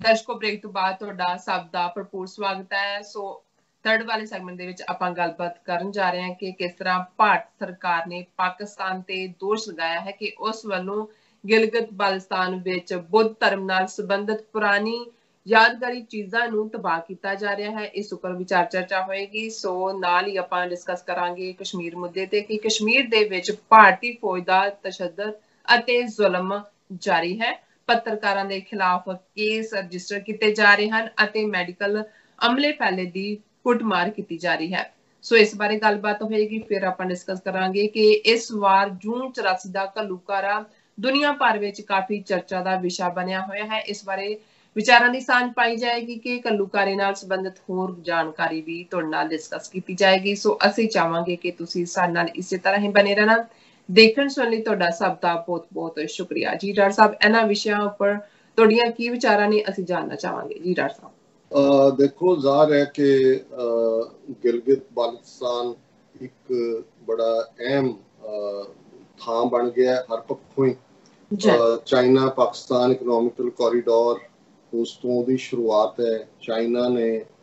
ਭਾਸ਼ਾ ਡੈਮ ਬਣਾਉਣ ਦਾ ਇੰਡਸ ਦੇ ਉੱਤੇ ਜਿਹੜਾ ਐਡ ਕੀਤਾ ਜਿਸ ਤੇ ਕੰਮ ਸ਼ੁਰੂ ਹੋ ਗਿਆ ਔਰ ਭਾਰਤ ਜਿਹੜਾ ਕਿ ਕੁਝ ਦਿਨ ਪਹਿਲਾਂ ਤੱਕ ਇਹ ਸਮਝਦਾ ਸੀ ਕਿ ਭਾਈ ਹੁਣ ਅਸੀਂ ਆਜ਼ਾਦ ਕਸ਼ਮੀਰ ਔਰ ਗਿਲਗਿਤ ਬਾਲਸਤਾਨ ਦਾ ਮੌਸਮ ਦੱਸਣਾ ਸ਼ੁਰੂ ਕਰ ਦਿੱਤਾ ਹੈ ਤੇ ਅਲਟੀਮੇਟਲੀ ਸਾਡਾ ਕਲੇਮ ਵੀ ਜਿਹੜਾ ਉਹਦੇ ਵੱਲ ਬਣ ਜਾਏਗਾ ਔਰ ਕੋਈ ਨਾ ਕੋਈ ਇਸ ਕਿਸਮ ਦੀ ਦਿਲਵਦੀ ਅਮਰੀਕਾ ਦੀ ਸ਼ਹਿ ਤੇ ਕਰਨ ਦੀ ਵੀ ਕੋਈ ਨਾ ਕੋਈ ਯੋਜਨਾ ਇਹਨਾਂ ਦੀ ਹੋਏਗੀ, ਕੋਈ ਨਾ ਕੋਈ ਪਲੈਨਿੰਗ ਹੋਏਗੀ। ਲੇਕਿਨ ਜਿਹੜਾ ਸਾਰਾ ਕੁਝ ਹੀ ਬਦਲ ਗਿਆ ਔਰ ਨਤੀਜੇ ਦੇ ਤੌਰ ਤੇ ਇਹ ਜੋ ਕੁਝ ਇਹਨਾਂ ਦੇ ਪੱਲੇ ਸੀ ਲਦਾਖ ਦੇ ਵਿੱਚ ਕਈ ਹਜ਼ਾਰ ਸਕੁਅਰ ਕਿਲੋਮੀਟਰ ਟੈਰੀਟਰੀ ਜਿਹੜੀ ਹੈ ਉਹ ਚਾਈਨਾ ਨੂੰ ਇਹਨਾਂ ਨੇ ਇਸ ਪਿਛਲੇ ਦਿਨਾਂ ਦੇ ਵਿੱਚ ਹੀ ਖਵਾਈ ਹੈ ਉਹਨਾਂ ਦੇ ਹੱਥਾਂ 'ਚ। ਔਰ ਨਤੀਜੇ ਦੇ ਤੌਰ ਤੇ ਹੁਣ ਇਹ ਕੋਈ ਨਾ ਕੋਈ ਬਹਾਨਾ ਲੱਭ ਰਹੇ ਨੇ ਕਿ ਪਾਕਿਸਤਾਨ ਨੂੰ ਵਿੱਚ ਘੜੀਸ ਕੇ ਕਟੋ ਕਟ ਕਿਉਂਕਿ ਜਿਹੜੇ ਇਹਨਾਂ ਦੇ ਮੀਡੀਆ ਵਾਲੀਆਂ ਉਹ ਬੀਬੀਆਂ ਐਂਕਰਾਂ ਔਰ ਉਹਨਾਂ ਦੇ ਮੂੰਹ ਚੋਂ ਜ਼ਹਿਰ ਉਗਲਦੇ ਜਿਹੜੇ ਐਂਕਰ ਬੈਠੇ ਹੋਏ ਨੇ ਉਹਨਾਂ ਦਾ ਕੋਲ ਮੈਟਰ ਹੀ ਮੁੱਕ ਗਿਆ ਕਿਉਂਕਿ ਜਦੋਂ ਦਾ ਚਾਈਨਾ ਦੀ ਹਵਾਲਾ ਇਹਨਾਂ ਨੇ ਦਬਾਈ ਹੋਈ ਆ ਖਬਰ ਪਰ ਜੋ ਟ੍ਰੈਂਡ ਚੱਲ ਰਿਹਾ ਜਿਹੜੇ ਲੋਕ ਇੰਟਰਨੈਸ਼ਨਲ ਮੈਗਜ਼ੀਨਸ ਅਖਬਾਰਾਂ ਪੜ੍ਹਦੇ ਨੇ ਉਹਨਾਂ ਨੂੰ ਪਤਾ ਹੈ ਵੀ ਉੱਥੇ ਕੀ ਹੋਇਆ। ਸੋ ਉਹਨਾਂ ਨੂੰ ਲੱਗਦਾ ਵੀ ਪਾਕਿਸਤਾਨ ਦੇ ਖਿਲਾਫ ਤਾਂ ਸਾਡੇ ਕੋਲ ਜ਼ਹਿਰ ਦਾ ਕਾਫੀ ਵੱਡਾ ਭੰਡਾਰ ਹੈ। ਲੋਕਾਂ ਨੂੰ ਵੀ ਉਹਦੇ ਲਈ ਅਸੀਂ ਤਿਆਰ ਕੀਤਾ। ਸੋ ਉਹਦੇ ਵਿੱਚ ਉਹਨਾਂ ਨੇ ਪਿਛਲੇ ਦਿਨਾਂ 'ਚ ਦੋ ਪਾਕਿਸਤਾਨ ਦੇ ਡਿਪਲੋਮੈਟ ਐਕਸਪੈਲ ਕੀਤੇ। ਵੀਜ਼ਾ ਸੈਕਸ਼ਨ ਦੇ ਜੀ ਇਹ ਸਪਾਈਂਗ ਕਰ ਰਹੇ ਨੇ। ਹੁਣ ਅੱਜ ਅਸੀਂ ਦੇਖਦੇ ਹਾਂ ਕਿ ਪਿਛਲੇ ਕੱਲ ਹੀ ਇਹਨਾਂ ਨੇ ਹੁਣ ਨਵਾਂ ਸਪੋਕਸਮੈਨ ਰੱਖਿਆ, ਅਨੁਰਾਗ ਸ਼੍ਰੀਵਾਸਤਵਾ ਪਹਿਲਾ ਜਿਹੜਾ ਸੀ ਰਵੀਸ਼ ਕੁਮਾਰ ਨੂੰ ਤਾਂ ਬਣਾ ਕੇ ਐਮਬੈਸਡਰ ਸ਼ਾਇਦ ਫਿਨਲੈਂਡ ਕੇ ਕਿੱਥੇ ਭੇਜ ਦਿੱਤਾ ਉਹਨੇ ਕੱਲ ਬਿਆਨ ਦਾ ਗਿਆ India expresses concern over reports of destruction of Buddhist heritage in Gilgit Baltistan ਕਿ ਜੀ ਗਿਲਗਿਤ ਬਾਲਟਿਸਤਾਨ ਦੇ ਵਿੱਚ ਜਿਹੜੀਆਂ ਬੁੱਧ ਧਰਮ ਦੀਆਂ ਯਾਦਾਂ ਵਾਲੀ ਚੀਜ਼ ਹੈ ਉਹਨਾਂ ਨੂੰ ਤੋੜਿਆ ਜਾ ਰਿਹਾ ਹੈ ਉਹਨਾਂ ਨੇ ਕਿਹਾ ਜੀ ਅਸੀਂ ਇਹ ਮੰਗ ਕਰਦੇ ਹਾਂ ਕਿ ਇਹ ਬਹੁਤ it's a matter of grave concern that Buddhist symbols are being destroyed and the religious and cultural rights and freedoms are being trampled with impunity in the Indian territories under illegal occupation of Pakistan. ਉਹਨੇ ਫੇਰ ਆਪਣਾ narrative ਦੁਹਰਾ ਰਹੇ ਨੇ ਕਿ ਜੀ ਇਹ ਸਾਡੀਆਂ territories ਹੈ ਇੰਡੀਆ ਗਿਲਗਿਤ ਬਾਲਟਿਸਤਾਨ ਉਹਨਾਂ ਦੇ ਔਰ ਇਹ ਬੁੱਧਿਜ਼ਮ ਦੀਆਂ ਜਿਹੜੀਆਂ ਚੀਜ਼ਾਂ ਨੇ ਸਿੰਬਲ ਨੇ ਉਹਨਾਂ ਨੂੰ ਡਿਸਟਰੋਏ ਕਰ ਰਹੇ ਨੇ। ਔਰ ਅਸੀਂ ਜਿਹੜੀ ਹੈ ਇੰਡੀਆ ਹੈ sought immediate access for its experts to visit the area in order to restore and preserve the invaluable archaeological heritage ਹੁਣ ਇਹ ਅਖਾਣ ਹੈ ਕਿ ਵੀ ਛੱਜਤਾ ਬੋਲੇ ਛਾਨਣੀ ਕੀ ਬੋਲੇ ਜਿਹਦੇ ਚ ਖੁਦ 100 ਛੇਕ। ਜਿਨ੍ਹਾਂ ਨੇ ਜਦੋਂ ਅਸੀਂ ਇਹ ਘੱਲੂਕਾਰੇ ਹਫ਼ਤੇ 'ਚ ਗੱਲਬਾਤ ਕਰ ਰਹੇ ਹਾਂ ਜਿਨ੍ਹਾਂ ਨੇ ਸਾਡਾ ਸਦੀਆਂ ਪੁਰਾਣਾ ਅਕਾਲ ਤਖਤ ਢਾਇਆ ਬਿਲਕੁਲ। ਪੰਜ ਸਦੀਆਂ ਦਾ ਸਾਡਾ ਇਤਿਹਾਸ ਸਾਡਾ ਸਰਮਾਇਆ ਸਿੱਖ ਰੈਫਰੈਂਸ ਲਾਇਬ੍ਰੇਰੀ ਲੁੱਟ ਕੇ ਲੈ ਗਏ ਉਹਨੂੰ ਸਾੜਿਆ। ਪੰਜ ਸਦੀਆਂ ਪੁਰਾਣੀ ਜਿਨ੍ਹਾਂ ਨੇ ਬਾਬਰੀ ਮਸਜਿਦ ਢਾਈ ਔਰ ਹੁਣ ਜਿੱਥੇ ਉਹ ਸੁਪਰੀਮ ਕੋਰਟ ਰਾਹੀਂ ਆਪਣੇ ਹਿੰਦੂਤਵੀ ਜੱਜਾਂ ਰਾਹੀਂ ਫੈਸਲਾ ਲਿਆ ਜੀ ਮੰਦਿਰ ਬਣਾਉਣਾ ਹੈ ਉੱਥੇ ਵੀ ਸਾਹਮਣੇ ਆਇਆ ਕਿ ਜਦੋਂ ਥੱਲੋਂ ਖੁਦਾਈ ਕਰ ਹੋ ਰਹੀ ਹੈ ਤੇ ਥੱਲੋਂ ਬੁੱਧ ਪੀਰੀਅਡ ਦੀਆਂ ਮੂਰਤੀਆਂ ਨਿਕਲ ਰਹੀਆਂ ਜਿਹਨੂੰ ਇਹ ਡਿਸਟਰੋਏ ਕਰ ਰਹੇ ਨੇ ਤਾਂ ਕਿ ਕੱਲ ਨੂੰ ਬੁੱਧਿਸਟੀ ਕਲੇਮ ਨਾ ਕਰਨ ਵੀ ਇਹ ਤੁਹਾਡਾ ਮੰਦਿਰ ਕਾਨੂੰ ਸੀ ਇਹ ਤਾਂ ਸਾਡਾ ਮੱਠ ਸੀ ਜਿਹੜਾ ਢਾ ਕੇ ਤੁਸੀਂ ਮੰਦਿਰ ਬਣਾਇਆ ਸੀ। ਇਹਦਾ ਕੋਈ ਸਬੂਤ ਨਹੀਂ ਮਿਲਿਆ ਕਿ ਮੰਦਿਰ ਚੋਂ ਮਸਜਿਦ ਬਣੀ ਹੈ ਲੇਕਿਨ ਇਹ ਸਬੂਤ ਮਿਲਣੇ ਸ਼ੁਰੂ ਹੋ ਗਏ ਨੇ ਕਿ ਭਾਈ ਉੱਥੇ ਬੁੱਧਿਜ਼ਮ ਦੀ ਮੋਨੈਸਟਰੀ ਸੀ ਔਰ ਉਹ ਬੁੱਧ ਪੀਰੀਅਡ ਦੇ ਜਿਹੜੇ ਨੇ ਉੱਥੋਂ ਸਾਰੀਆਂ ਚੀਜ਼ਾਂ ਮਿਲ ਰਹੀਆਂ ਹੁਣ ਜਿਨ੍ਹਾਂ ਨੇ ਖੁਦ ਦੂਸਰਿਆਂ ਦਾ ਹੈਰੀਟੇਜ ਤਬਾਹ ਕੀਤਾ ਹੋਏ ਲਗਾਤਾਰਤਾ ਨਾਲ ਤਬਾਹੀ ਦਾ ਰਸਤਾ ਚੁਣਿਆ ਹੋਏ ਉਹ ਇਸ ਗੱਲ ਦਾ ਇਲਜ਼ਾਮ ਲਾਣ ਕੇ ਜੀ ਗਿਲਗਿਤ ਬਾਲਸਤਾਨ ਦੇ ਵਿੱਚ ਬੁੱਧ ਧਰਮ ਦਾ। ਪਹਿਲਾਂ ਉੱਥੇ ਕੀ ਹੋਇਆ ਤਾਲਿਬਾਨ ਨੇ ਬਨਿਆਨ ਜਾਂ ਦੂਜੇ ਚ ਕੀ ਕੀਤਾ ਉਹਨੂੰ ਅਸੀਂ ਡਿਫੈਂਡ ਨਹੀਂ ਕਰਦੇ। ਪਰ ਹੁਣ ਪਾਕਿਸਤਾਨ ਦੇ ਵਿੱਚ ਇਮਰਾਨ ਖਾਨ ਦੀ ਹਕੂਮਤ ਹੈ ਜਿਨ੍ਹਾਂ ਦੀਆਂ ਪ੍ਰਾਇੋਰਟੀਆਂ ਜਿਹੜੀਆਂ ਨੇ, ਜੇ ਪਾਕਿਸਤਾਨ ਦੀ ਇਕਨੋਮੀ ਨੂੰ ਉਹ ਵਾਪਸ ਪੈਰਾਂ ਤੇ ਖੜਾ ਕਰਨ ਦੀ ਗੱਲ ਕਰਦੇ ਨੇ, ਤੇ ਟੂਰਿਸਟ ਸਰਕਟ ਜੇ ਉਹਨਾਂ ਨੇ ਜਿਹੜਾ ਹੈ, ਉਹ 800 ਏਕੜ ਦੇ ਵਿੱਚ ਕਈ 100 ਕਰੋੜ ਖਰਚ ਕੇ ਕਰਤਾਰਪੁਰ ਸਾਹਿਬ ਬਣਾਇਆ ਜੇ ਉਹਨਾਂ ਨੇ ਈਵਨ ਉਸ ਖੈਬਰ ਪਖਤੂਨਖਵਾ ਦੇ ਵਿੱਚ ਬੁੱਧਿਜ਼ਮ ਨਾਲ ਰਿਲੇਟਡ ਚੀਜ਼ਾਂ ਔਰ ਉਹਨਾਂ ਸਾਰਿਆਂ ਨੂੰ ਵਾਪਸ ਜਿਹੜਾ ਰੈਨੋਵੇਟ ਕਰਕੇ ਰੱਖਿਆ ਕਿ ਤਾਂ ਕਿ ਜਾਪਾਨ ਔਰ ਕੋਰੀਆ ਔਰ ਵਿetnam ਚੋਂ ਜਿਹੜੇ ਨੇ ਜਿਹੜੇ ਯਾਤਰੂ ਆਣਗੇ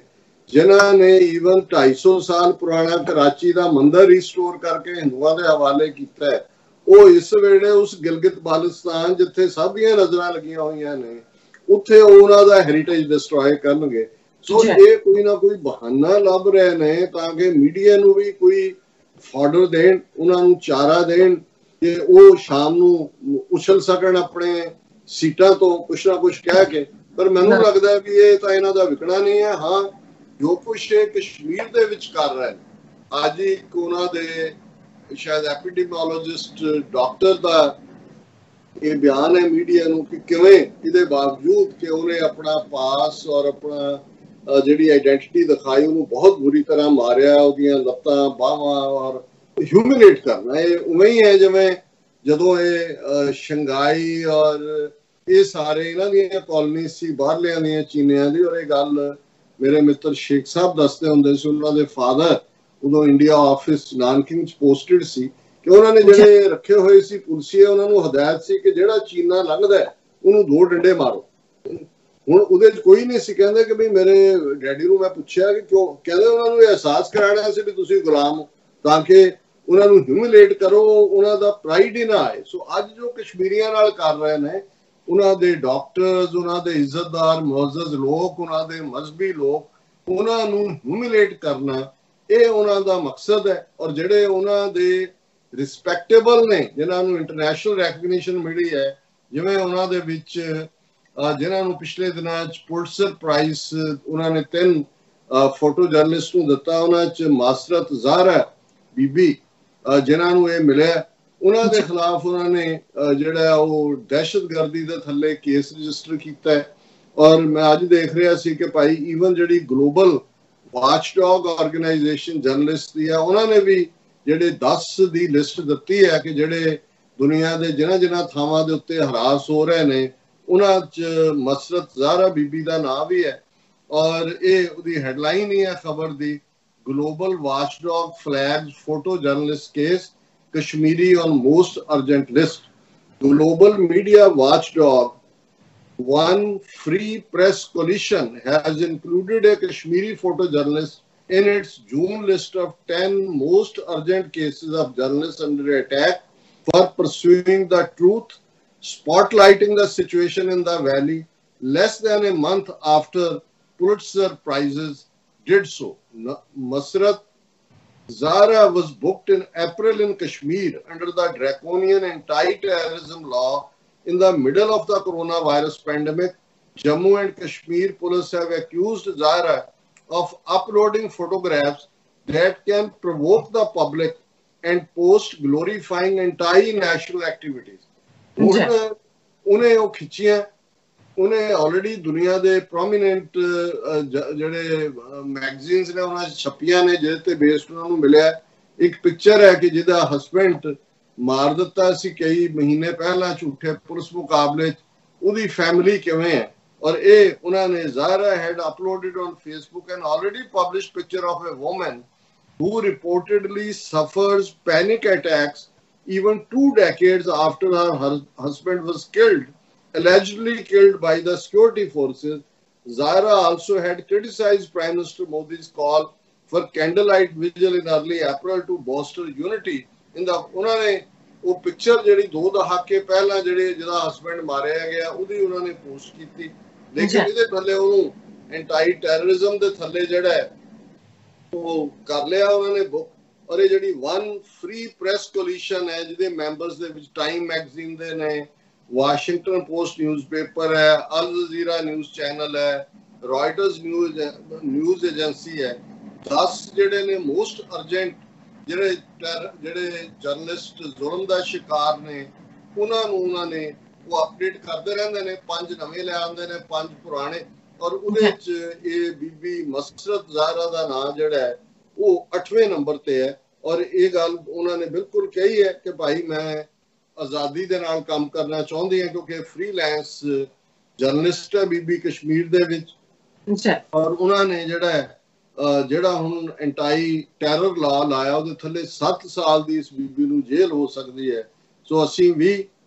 ਇਸ ਜਿਹੜਾ media watchdog one free press coalition ਦੇ ਨਾਲ ਆਪਣੀ ਆਵਾਜ਼ ਲਾਉਂਦੇ ਹਾਂ ਅਸੀਂ ਬਰਾਬਰ ਕਸ਼ਮੀਰ ਦੇ ਵਿੱਚ ਹਿਊਮਨ ਰਾਈਟਸ ਵਾਇਲੇਸ਼ਨ ਫੌਜ ਦੀਆਂ ਜ਼ਿਆਦਤੀਆਂ ਇਸ ਦੇ ਖਿਲਾਫ ਆਵਾਜ਼ ਉਠਾਉਂਦੇ ਰਹਿੰਦੇ ਹਾਂ। ਮੈਂ ਘੜੀ ਵੱਲ ਦੇਖ ਰਿਹਾ। ਮੈਂ ਜ਼ਿਆਦਾ ਵੇਰ ਵਿੱਚ ਨਹੀਂ ਜਾਵਾਂਗਾ। ਅਸੀਂ ਪਹਿਲੇ ਸੈਗਮੈਂਟ 'ਚ ਜੂਨ 84 ਕੱਲੂ ਜੂਨ 84 ਘੱਲੂਘਾਰੇ ਨਾਲ ਸੰਬੰਧਿਤ ਗੱਲਬਾਤ ਕੀਤੀ ਹੈ। ਔਰ। ਕਿਉਂਕਿ ਇਸ ਸਾਰੇ ਦੌਰ ਦੇ ਵਿੱਚ ਬੇਸ਼ੱਕ ਉਹਨਾਂ ਲਿਟਰੇਚਰ ਤਾਂ ਸਾਹਮਣੇ ਨਹੀਂ ਆਇਆ ਜਿੰਨਾ ਕਿ ਹੋਣਾ ਚਾਹੀਦਾ ਸੀ ਕਿਉਂਕਿ ਸਾਡੇ ਬਹੁਤ ਸਾਰੇ ਜਿਹੜੇ ਉੱਥੇ ਥਿੰਕਰ ਜਾਂ ਰਾਈਟਰ ਆਲਰੇਡੀ ਲੈਫਟਿਸਟ ਆਈਡੀਓਲੋਜੀ ਦੇ ਹੋ ਚੁੱਕੇ ਸੀ ਪੰਜਾਬੀ ਜਗਤ ਦੇ ਵਿੱਚ ਵੀ। ਔਰ ਲੈਫਟਿਸਟ ਜਾਂ ਕਮਿਊਨਿਸਟ ਜਿਹੜੇ ਨੇ ਉਹ ਇੰਦਰਾ ਗਾਂਧੀ ਦੀ ਸਪੋਰਟ ਤੇ ਸੀ ਔਰ ਹੁਣ ਤੱਕ ਵੀ ਉਹ ਖਾਲਿਸਤਾਨ ਦੇ ਵਿਰੋਧ ਦੇ ਵਿੱਚ ਭੁਗਤਦੇ ਨੇ। ਔਰ ਮੈਂ। ਦੇਖ ਰਿਹਾ ਸੀ ਕਿ ਜਿਹੜੀ ਘਟਨਾ ਮਿਨੀਐਪਲਸ ਹੋਈ ਇਵਨ ਇਹਨੂੰ ਲੈ ਕੇ ਕਿੰਨਾ ਆਰਟ ਵਰਕ ਦੁਨੀਆ 'ਚ ਕ੍ਰੀਏਟ ਹੋਇਆ ਕਿੰਨੀਆਂ ਮਿਨੀਏਚਰਸ ਕਿੰਨੀ ਪੋਇਟਰੀ ਕਿੰਨਾ ਦੂਜਾ। ਔਰ ਇੰਨਾ ਵੱਡਾ ਘੱਲੂਕਾਰਾ ਔਰ ਲਗਾਤਾਰ 10 ਸਾਲ ਸਿੱਖਾਂ ਦੀ ਨਸਲਕੁਸ਼ੀ ਲੇਕਿਨ ਬਹੁਤ ਲਿਮਿਟਿਡ ਹੈ। ਤੇ ਇਸ ਲਈ ਸਾਡੇ ਲਈ ਇਹ ਜ਼ਰੂਰੀ ਹੁੰਦਾ ਹੈ ਕਿ ਜਿਨ੍ਹਾਂ ਨੇ ਜੂਨ 84 ਦੇ ਇਸ ਘੱਲੂਕਾਰੇ ਦੇ ਉੱਤੇ ਪੰਜਾਬੀ ਦੇ ਵਿੱਚ ਲਿਖਿਆ ਹੈ ਬਹਾਦਰ ਰੂਹਾਂ ਸੀ ਉਹਨਾਂ ਨੂੰ ਸਫਰ ਵੀ ਕਰਨਾ ਪਿਆ। ਉਹਨਾਂ ਚੋਂ ਇੱਕ ਹਰਿੰਦਰ ਸਿੰਘ ਮਹਿਬੂਬ ਜਿਨ੍ਹਾਂ ਨੂੰ ਪੁਲਿਸ ਨੇ ਟਾਰਚਰ ਵੀ ਕੀਤਾ ਹਾਲਾਂ ਬਾਅਦ 'ਚ ਉਹਨਾਂ ਦੀ ਕਿਤਾਬ ਚਨਾ ਦੀ ਰਾਤ ਜਿਹਦੇ ਅੱਛਾ। 'ਚ ਇਹ ਨਜ਼ਮਾਂ ਇਨਕਲੂਡਡ ਸੀ ਉਹਨੂੰ ਸਾਹਿਤ ਅਕੈਡਮੀ ਅਵਾਰਡ ਵੀ ਮਿਲਿਆ। ਲੇਕਿਨ ਉਹਨਾਂ ਨੂੰ ਪਤਾ ਹੀ ਨਹੀਂ ਲੱਗਾ ਕਿ ਉਹ ਤਾਂ ਚਨਾ ਦੀ ਰਾਤ ਪਹਿਲੀ ਹੈ ਉਹਦਾ ਰਾਈਟ ਅਪ ਕਿ ਨਜ਼ਮਾਂ ਵੀ ਨੇ ਬਾਅਦ ਸਗੋਂ ਜਿਨ੍ਹਾਂ ਨੇ ਅਵਾਰਡ ਦਿੱਤਾ ਭੀੜਾਂ ਤੋਂ ਹਿੰਦੂ ਤਵੀਆਂ ਨੇ ਉਹਨਾਂ ਦੇ ਮੂੰਹ ਕਾਲੇ ਕੀਤੇ ਜੀ ਤੁਸੀਂ ਇੱਕ ਦਹਿਸ਼ਤਗਰਦ ਦੀਆਂ ਲਿਖਤਾਂ ਦੀ ਕਿਤਾਬ ਨੂੰ ਜਿਹੜਾ ਉਹ ਇਹ ਜਿਹੜਾ ਅਵਾਰਡ ਦਿੱਤਾ। ਸੋ। ਇਹ ਜਿਹੜੀ ਉਹਨਾਂ ਨੇ 3 ਜੂਨ ਦੇ ਹਵਾਲੇ ਨਾਲ ਜਿਹੜਾ ਨਜ਼ਮਾਂ ਲਿਖੀਆਂ ਉਹਨਾਂ ਚੋਂ ਕੁਝ ਅਸੀਂ ਬਰੀਫ ਸ਼ੇਅਰ ਕਰਾਂਗੇ ਇੱਕ। ਉਹਨਾਂ ਦੀ ਨਜ਼ਮ ਹੈ ਜਿਹਦੇ ਚ ਹੈ ਕਿ ਨੀਂਦਾਂ ਦਾ ਕਤਲ ਤੇ ਸ਼ਹੀਦਾਂ ਦਾ ਗਜ਼ਬ। ਔਰ ਇਸ ਉਹਨਾਂ ਨੇ ਕਿਹਾ, ਕੌਮ ਸ਼ਹੀਦ ਗੁਰੂ ਦੇ ਬੂਹੇ ਕਰ ਸੁੱਤੀ ਅਰਦਾਸਾਂ, ਡੈਣ ਸਰਾਲ, ਚੋਰ ਜੋ ਸਰਕੀ, ਲੈ ਕੇ ਘੋਰ ਪਿਆਸਾਂ, ਹੱਥ ਬਿਆੰਤ ਸਮੇਂ ਦੇ ਡਾਢੇ, ਕੌਣ ਕੁਪਤੀਆਂ ਡੈਣਾ ਲਉ ਸ਼ਹੀਦ ਦਾ ਲਠ ਲਠ ਬੜਿਆ ਕਾਲ ਦੇ ਕੁਲ ਆਗਾਸਾਂ ਹੁਣ ਇੱਥੇ ਇੰਦਰਾ ਗਾਂਧੀ ਨੂੰ ਸਰਾੜ ਜਿਵੇਂ ਸਪਣੀ ਅਸੀਂ ਦੇਖਦੇ ਹਾਂ ਕਿ ਜਦੋਂ ਉਹਦਾ ਘੇਰਾ ਔਰ ਇਹਦੇ ਹੁੰਦਾ ਹੈ ਕਿ ਭਾਈ ਉਹ ਖੂਨ ਚੂਸਦੀ ਹੈ ਜੰਗ ਤਾਂ ਨਾਲ ਜੁੜਿਆ ਤਾਂ ਉਹ ਸਪਣੀ ਦਾ ਹੁੰਦਾ ਹੈ ਮੈਂਸ਼ਨ ਪਰ। ਜਿਹੜਾ ਘੇਰਾ ਹੈ ਦਰਬਾਰ ਸਾਹਿਬ ਦਾ ਇਹ ਇਵੇਂ ਹੀ ਹੈ ਕਿ ਡੈਣ ਜੇ ਕਈ ਥਾਂ ਤੇ ਉਹਨੂੰ ਡੈਣ ਕਿਹਾ ਹੈ ਸਰਾਲ ਨੇ ਜਿਵੇਂ ਘੇਰਾ ਪਾਇਆ ਔਰ ਇਹ ਸਰਾਲ ਹੈ ਇੰਦਰਾ ਗਾਂਧੀ ਕੌਮ ਸ਼ਹੀਦ ਗੁਰੂ ਦੇ ਬੂਹੇ ਕਰ ਸੁੱਤੀ ਅਰਦਾਸਾ ਇਹ 3 ਜੂਨ ਦੀ ਰਾਤ ਦੀ ਗੱਲ ਹੈ ਕਿਉਂਕਿ 3 ਜੂਨ ਸ਼ਹੀਦੀ ਦਿਨ ਹੈ ਸ਼ਹੀਦ ਗੁਰੂ ਦਾ ਬੂਹ ਹੈ ਆਪਣੇ ਪਿਆਰੇ ਦੇ ਘਰ ਆਏ ਨੇ ਔਰ ਅਰਦਾਸ ਕਰਕੇ ਰਾਤ ਨੂੰ ਸੁੱਤੇ ਨੇ। ਡੈਣ ਸਰਾਲ ਚੋਰ ਜੋ ਸਰਕੀ ਕਿ ਚੋਰਾਂ ਵਾਂਗ ਇਸ ਡੈਣ ਨੇ ਸਰਾਲ ਨੇ ਲੈ ਕੇ ਘੋਰ ਪਿਆਸਾਂ ਸਿੱਖਾਂ ਦੇ ਖੂਨ ਦੀ ਪਿਆਸੀ ਇਹ ਸਰਾਲ ਇਹਦਾ ਘੇਰਾ ਹੱਥ ਬਿਆੰਤ ਸਮੇਂ ਦੇ ਡਾਢੇ ਕੌਣ ਕੁਪਤੀਆਂ ਡੈਣ ਹੁਣ ਨਾਲ ਦੀ ਨਾਲ ਹਰਿੰਦਰ ਸਿੰਘ ਮਹਿਬੂਬ ਬੇਸ਼ੱਕ ਕਿਉਂਕਿ ਇਹ ਨਜ਼ਮ ਉਹਨਾਂ ਨੇ 31 ਅਕਤੂਬਰ ਤੋਂ ਬਾਅਦ ਲਿਖੀ ਤੇ 31 ਅਕਤੂਬਰ ਨੂੰ ਸ਼ਹੀਦ ਬੇਅੰਤ ਸਿੰਘ ਸ਼ਹੀਦ ਸਤਵੰਤ ਸਿੰਘ ਨੇ ਇੰਦਰਾ ਗਾਂਧੀ ਨੂੰ ਸਜ਼ਾ ਯਾਫਤਾ ਕੀਤਾ। ਉਹਨਾਂ ਨੇ। ਕਿਹਾ ਵੀ ਇੱਕ ਪਾਸੇ ਇਹ ਡੈਣ ਹੈ ਜਿਹਨੂੰ ਸਿੱਖ ਖੂਨ ਦੀ ਪਿਆਸੀ ਇਹਨੇ ਘੇਰਾ ਪਾਇਆ ਪਰ ਇਧਰ ਹੱਥ ਬੇਅੰਤ ਸਮੇਂ ਦੇ ਡਾਢੇ ਕਿ ਹੁਣ ਇਹ ਜਿਹੜਾ ਸਮਾਂ ਇਹ ਵੀ ਬੇਅੰਤ ਹੈ ਇਨਫਿਨਿਟ ਹੈ। ਇਹ ਉਹਨਾਂ ਨੇ ਬੇਅੰਤ ਸਿੰਘ ਦੇ ਨਾਂ ਨਾਲ ਉਸ ਇਨਫਿਨਿਟ ਨੂੰ ਜੋੜਿਆ ਕਿ ਜੇ ਉਹ ਸਰਾਲ ਹੈ, ਤੇ ਫਿਰ ਸਮੇਂ ਦੇ ਹੱਥ ਵੀ ਬੜੇ ਡਾਢੇ ਨੇ, ਜਿਹੜੇ ਕਿਸੇ ਬੇਅੰਤ ਦੇ ਸਿਰ ਤੇ ਹੱਥ ਰੱਖ ਦਿੰਦਾ ਸਮਾਂ। ਹੱਥ ਬੇਅੰਤ ਸਮੇਂ ਦੇ ਡਾਢੇ, ਕੌਣ ਕੁਪੱਤੀਆਂ ਡੈਣਾ? ਕਿ ਡੈਣ ਜਿੰਨੀ ਮਰਜ਼ੀ ਕੋਣ ਵਾਲੀ ਹੋਏ, ਕਪੱਤੀ ਹੋਏ, ਪਰ ਸਮੇਂ ਦੇ ਹੱਥ ਦੀ ਮਾਰ ਸਾਹਮਣੇ ਫਿਰ ਇਹ ਕਪੱਤੀ ਡੈਣ ਟਿਕ ਨਹੀਂ ਸਕੀ। ਲਉ ਸ਼ਹੀਦ ਦਾ ਲਟ ਲਟ ਬੜਿਆ। ਕਾਲ ਦੇ ਕੁੱਲ ਆਗਾਸਾ ਕਿ ਸਾਰਾ ਟਾਈਮ ਐਂਡ ਸਪੇਸ ਇਕੱਠਾ ਹੋ ਕੇ ਬੇਅੰਤ ਸਿੰਘ ਦੇ ਉੱਤੇ ਆ ਕੇ ਖਲੋ ਗਿਆ ਔਰ ਲਉ ਸ਼ਹੀਦ ਦਾ ਉਹ ਭਾਵੇਂ ਉਹਨੇ ਸ਼ਹਾਦਤ ਪਾਈ ਪਰ ਉਹਦਾ ਖੂਨ ਲਟ ਲਟ ਬੜਿਆ ਕਿ ਇਸ ਸਰਾਲ ਨੂੰ ਇਸ ਡੈਣ ਨੂੰ ਜਿਹੜਾ ਇਸ ਦਾ ਅੰਤ ਕਰਨਾ ਹੈ। ਫਿਰ ਮੇਰੇ ਸ਼ਹੀਦ ਮਾਹੀ ਦੇ ਦਿਨ ਤੂੰ ਸੁਣੀ ਕੁਪਤੀਏ ਨਾਰੇ ਕੌਮ ਮੇਰੀ ਦੇ ਬਚੜੇ ਭੋਲੇ ਡੂੰਗੀ ਨੀਂਦ ਚ ਮਾਰੇ ਜੋ ਜਰਨੈਲ ਮਾਹੀ ਦੇ ਦਰ ਤੇ ਪਹਿਰੇਦਾਰ ਪੁਰਾਣਾ ਮਹਾਬਲੀ ਸਮੇਂ ਤੇ ਬੈਠਾ ਉਹ ਅਸਵਾਰ ਨਾ ਇਹ ਹੁੰਦੀ ਹੈ ਪੋਇਟਰੀ ਇਸ ਵਿੱਚ ਉਹਨਾਂ ਨੇ ਵੱਡੇ ਨਾਇਕ ਜਿੱਥੇ ਸ਼ਹੀਦ ਬਿਆਨ ਸਿੰਘ ਜਿਹਨੇ ਇਸ ਜੈਨ ਦਾ ਅੰਤ ਕੀਤਾ ਉਹਨੂੰ ਟ੍ਰਿਬਿਊਟ ਦਿੱਤੀ। ਉੱਥੇ ਨਾਲ ਸੰ ਜਰਨੈਲ ਸਿੰਘ ਪਿੰਡਾਂ ਵਾਲੇ ਕਿ ਭਾਈ ਜੇ ਤੁਹਾਡੀ ਬਦਨੀਤੀ ਅਕਾਲ ਤਖਤ ਨੂੰ ਢਾਣ ਦੀ ਸੀ ਸਿੱਖਾਂ ਨੂੰ ਸਬਕ ਸਿਖਾਉਣ ਦੀ ਸੀ ਤੇ ਫਿਰ ਅਕਾਲ ਤਖਤ ਦਾ ਪਹਿਰੇਦਾਰ ਵੀ ਗੁਰੂ ਨੇ ਜਰਨੈਲ ਖੜਾ ਕਰ ਦਿੱਤਾ ਜਿਹਦਾ ਨਾਮ ਵੀ ਜਰਨੈਲ ਹੈ। ਮੇਰੇ ਸ਼ਹੀਦ ਮਾਹੀ ਦੇ ਦਿਨ ਤੂੰ ਸੁਣੀ ਕਪੱਤੀਏ ਨਾਰੇ ਕਿ ਇਹ ਕਪੱਤੀ ਔਰਤ ਤੂੰ ਸੁਣ ਕਿ ਤੂੰ ਦਿਨ ਚੁਣਿਆ ਮੇਰੇ ਸ਼ਹੀਦ ਮਾਹੀ ਪਿਆਰੇ ਦੇ ਸ਼ਹੀਦੀ ਦਿਨ ਨੂੰ। ਕੌਮ ਮੇਰੀ ਦੇ ਬਚੜੇ ਭੋਲੇ ਡੂੰਗੀ ਨੀਂਦ ਚ ਮਾਰੇ। ਜਿਹੜੇ ਸ਼ਹੀਦ ਗੁਰੂ ਦੇ ਬੂਏ ਸੁੱਤੇ ਨੇ ਉਹਨਾਂ ਦਾ ਤੂੰ ਕਤਲ ਕੀਤਾ ਜੋ ਜਰਨੈਲ ਮਾਹੀ ਦੇ ਦਰ ਤੇ ਪਹਿਰੇਦਾਰ ਪੁਰਾਣਾ ਤੇ ਫਿਰ ਇਹ ਵੀ ਅਕਾਲ ਤਖਤ ਚਾਰ ਸਦੀਆਂ ਦਾ ਇਤਿਹਾਸ ਹੈ ਕਿ ਹਮਲਾਵਰ ਨੂੰ ਸੁੱਕਾ ਨਹੀਂ ਰਾਣ ਦਿੱਤਾ ਉਹ ਜਰਨੈਲ ਖੜੇ ਉਸ ਅਕਾਲ ਤਖਤ ਦੀ ਅਜ਼ਮਤ ਨੂੰ ਡਿਫੈਂਡ ਕਰਨ ਦੇ ਲਈ ਮਹਾਬਲੀ ਸਮੇਂ ਤੇ ਬੈਠਾ ਉਹ ਸਵਾਰ ਨਾ ਹਾਰੇ। ਕਿ ਅਕਾਲ ਤਖਤ ਤੇ ਥਰੋਨ ਆਫ ਦਾ ਇਮੋਰਟਲ ਹੈ ਮੌਤ ਦੇ ਦਾਇਰੇ 'ਚ ਨਹੀਂ ਹੈ। ਤੈਨੂੰ ਤਾਂ ਮੌਤ ਬਿਆਨ ਸਿੰਘ ਨੇ ਦੇ ਦਿੱਤੀ, ਲੇਕਿਨ ਅਕਾਲ ਤਖਤ ਦੇ ਪਹਿਰੇਦਾਰ ਜਰਨੈਲ ਸਿੰਘ ਨੇ ਦੱਸ ਦਿੱਤਾ ਕਿ ਭਾਈ, ਇਹ ਅਸਵਾਰ ਹਾਰਨ ਵਾਲਾ ਨਹੀਂ ਹੈ, ਕਿਉਂਕਿ ਇਹ ਤਖਤ ਇਮੋਰਟਲ ਦਾ ਤਖਤ ਹੈ। ਨੀਂਦ 'ਚ ਨੀਂਦ ਜੇ ਬਚੜੇ ਖਾਵੇਂ, ਸੁਣ ਬੇਕਰ ਚੜੇਲੇ, ਸਮਾ ਪੁਰ ਸਲਾਖ ਜਿਉ ਹੀਠਾਂ, ਤਗੇ ਬਾਜ਼, ਨੈ ਮੇਲੇ ਸੁੱਟ ਦੇਵੇਗਾ ਕੀੜ ਜਿਉ ਤੈਨੂੰ। ਕਹਿਰ ਬਿਆੰਤ ਦਾ ਝੁੱਲੇ ਤੋੜ ਤੇਰੇ ਰਾਜ ਦੇ ਬੂਹੇ ਨਰਕ ਨੇਰ ਵਿੱਚ ਠੇਲੇ। ਕਿ ਤੂੰ ਉਹ ਮਾਸੂਮ ਬੱਚੇ ਜਿਨ੍ਹਾਂ ਨੂੰ ਬੇਕਿਰਕ ਚੜੇਲੇ ਤੂੰ ਖਾਦਾ ਮਾਰਿਆ। ਪਰ ਜਿਵੇਂ ਮਰਨ ਤੋਂ ਬਾਅਦ ਜਿਹੜਾ ਦੋਜ਼ਖ ਦਾ ਰਸਤਾ ਹੈ ਜਾਂ ਜਿਹੜੀ ਤੂੰ ਚਿੱਤ ਘਣਾ ਦੇ ਧਮਕੇ ਹਰ ਮੰਦਰ ਦੇ ਬੂਹੇ ਮੀਆਂ ਮੀਰ ਦਾ ਖੂਨ ਵੀਟ ਕੇ ਕਰੇ, ਸਰੋਵਰ ਸੂਹੇ, ਦੂਰ ਸਮੇਂ ਦੇ ਗਰਭ ਚ ਸੁੱਤੇ, ਬੀਜ ਮਾਸੂਮ ਵਣਾ ਦੇ ਲੂਣ ਹਰਾਮ ਦੀ ਨਜ਼ਰ ਪੈਂਦਿਆਂ ਗਏ ਪਲਾਂ ਵਿੱਚ ਲੂਹੇ। ਹੁਣ ਇਹ ਸ਼ਾਇਰ ਦੀ ਜਿਹੜੀ ਇਮੇਜਿਨੇਸ਼ਨ ਹੁੰਦੀ ਹੈ, ਇੱਕ ਪਾਸੇ ਉਹਨਾਂ ਨੂੰ ਸ਼ਹੀਦ ਮਾਈ ਗੁਰੂ ਅਰਜਨ ਸਾਹਿਬ ਨਜ਼ਰ ਆ ਰਹੇ ਨੇ, ਅਕਾਲ ਤਖਤ ਹੈ ਤੇ ਫਿਰ ਸਾਈ ਮੀਆਂ ਮੀਰ ਹੈ ਜਿਨੇ ਹਰਮੰਦਰ ਸਾਹਿਬ ਦੀ ਨੀਂਹ ਰੱਖੀ ਹੈ। ਔਰ ਦੂਜੇ ਪਾਸੇ ਫੌਜ ਹੈ, ਉਸ ਇੰਦਰਾ ਗਾਂਧੀ ਦੀ ਜਿਹੜੀ, ਜਿਹੜਾ ਸਾਰਾ ਮੁਲਕ ਅਕਿਰਤ ਕਣਾ ਦਾ ਥੈਂਕਲੈਸ ਨਾ ਸ਼ੁਕਰਿਆਂ ਦਾ ਕਟਕ ਹੁੰਦਾ ਵੱਡੀ ਫੌਜ, ਨਾ ਸ਼ੁਕਰਿਆਂ ਦੀ ਵੱਡੀ ਫੌਜ। ਕਟਕ ਅਕਿਰਤ ਕਣਾ ਦੇ ਧਮਕੇ ਹਰ ਮੰਦਰ ਦੇ ਬੂਏ ਇਸ ਰੱਬ ਦੇ ਘਰ ਦੇ ਬਾਹਰ ਆ ਕੇ ਇਹ ਨਾ ਸ਼ੁਕਰਿਆਂ ਦੀ ਫੌਜ ਜਿਹੜੀ ਹੈ, ਮੀਆਂ ਮੀਰ ਦਾ ਖੂਨ ਵੀਟ ਕੇ ਕਰੇ ਸਰੋਵਰ ਸੂਏ ਕਿ ਸਾਰਾ ਸਰੋਵਰ ਖੂਨ ਨਾਲ ਲਾਲ ਕਰ ਦਿੱਤਾ ਹੈ। ਇਹ ਉਸ ਮੀਆਂ ਮੀਰ ਜਿਸ ਨੇ ਇਹਦੀ ਨੀਂਹ ਪੱਥਰ ਰੱਖੀ ਹੈ ਮਾਨੋ ਇਹ ਆਮ ਸਿੱਖਾਂ ਦਾ ਖੂਨ ਨਹੀਂ ਹੈ ਇਹ ਮੀਆਂ ਮੀਰ ਦਾ ਖੂਨ ਵਿਟਿਆ ਗਿਆ ਜਿਨੇ ਇਸ ਸਰਬ ਸਾਂਝੇ ਸਥਾਨ ਦੀ ਸੰਗੇ ਬੁਨਿਆਦ ਰੱਖੀ ਸੀ। ਔਰ ਇਹ ਜਿਹੜਾ ਇਸ ਦੀ ਅਕਾਊਂਟੇਬਿਲਿਟੀ ਜਿਹੜੀ ਹੈ ਇਹ ਲੂਣ ਹਰਾਮੀਆਂ ਨੇ ਇਸ ਸਾਰੇ ਨੂੰ ਗਰਕ ਕਰ ਦਿੱਤਾ ਹੈ। ਔਰ ਅਖੀਰ ਨਾਰ ਸਰਾਲ ਸਰਕ ਦਾ ਘੇਰਾ ਹਰ ਮੰਦਰ ਨੂੰ ਪਾਇਆ। ਰਿਜ਼ਕ ਫਕੀਰਾਂ ਵਾਲਾ ਸੁੱਚਾ ਆ ਤਕਦੀਰ ਜਲਾਇਆ ਬੁੱਤ ਪੂਜਾ ਦੇ ਸੀਨੇ ਦੇ ਵਿੱਚ ਫੱਫੇ ਕੁੱਟਣੀ ਸੁੱਤੀ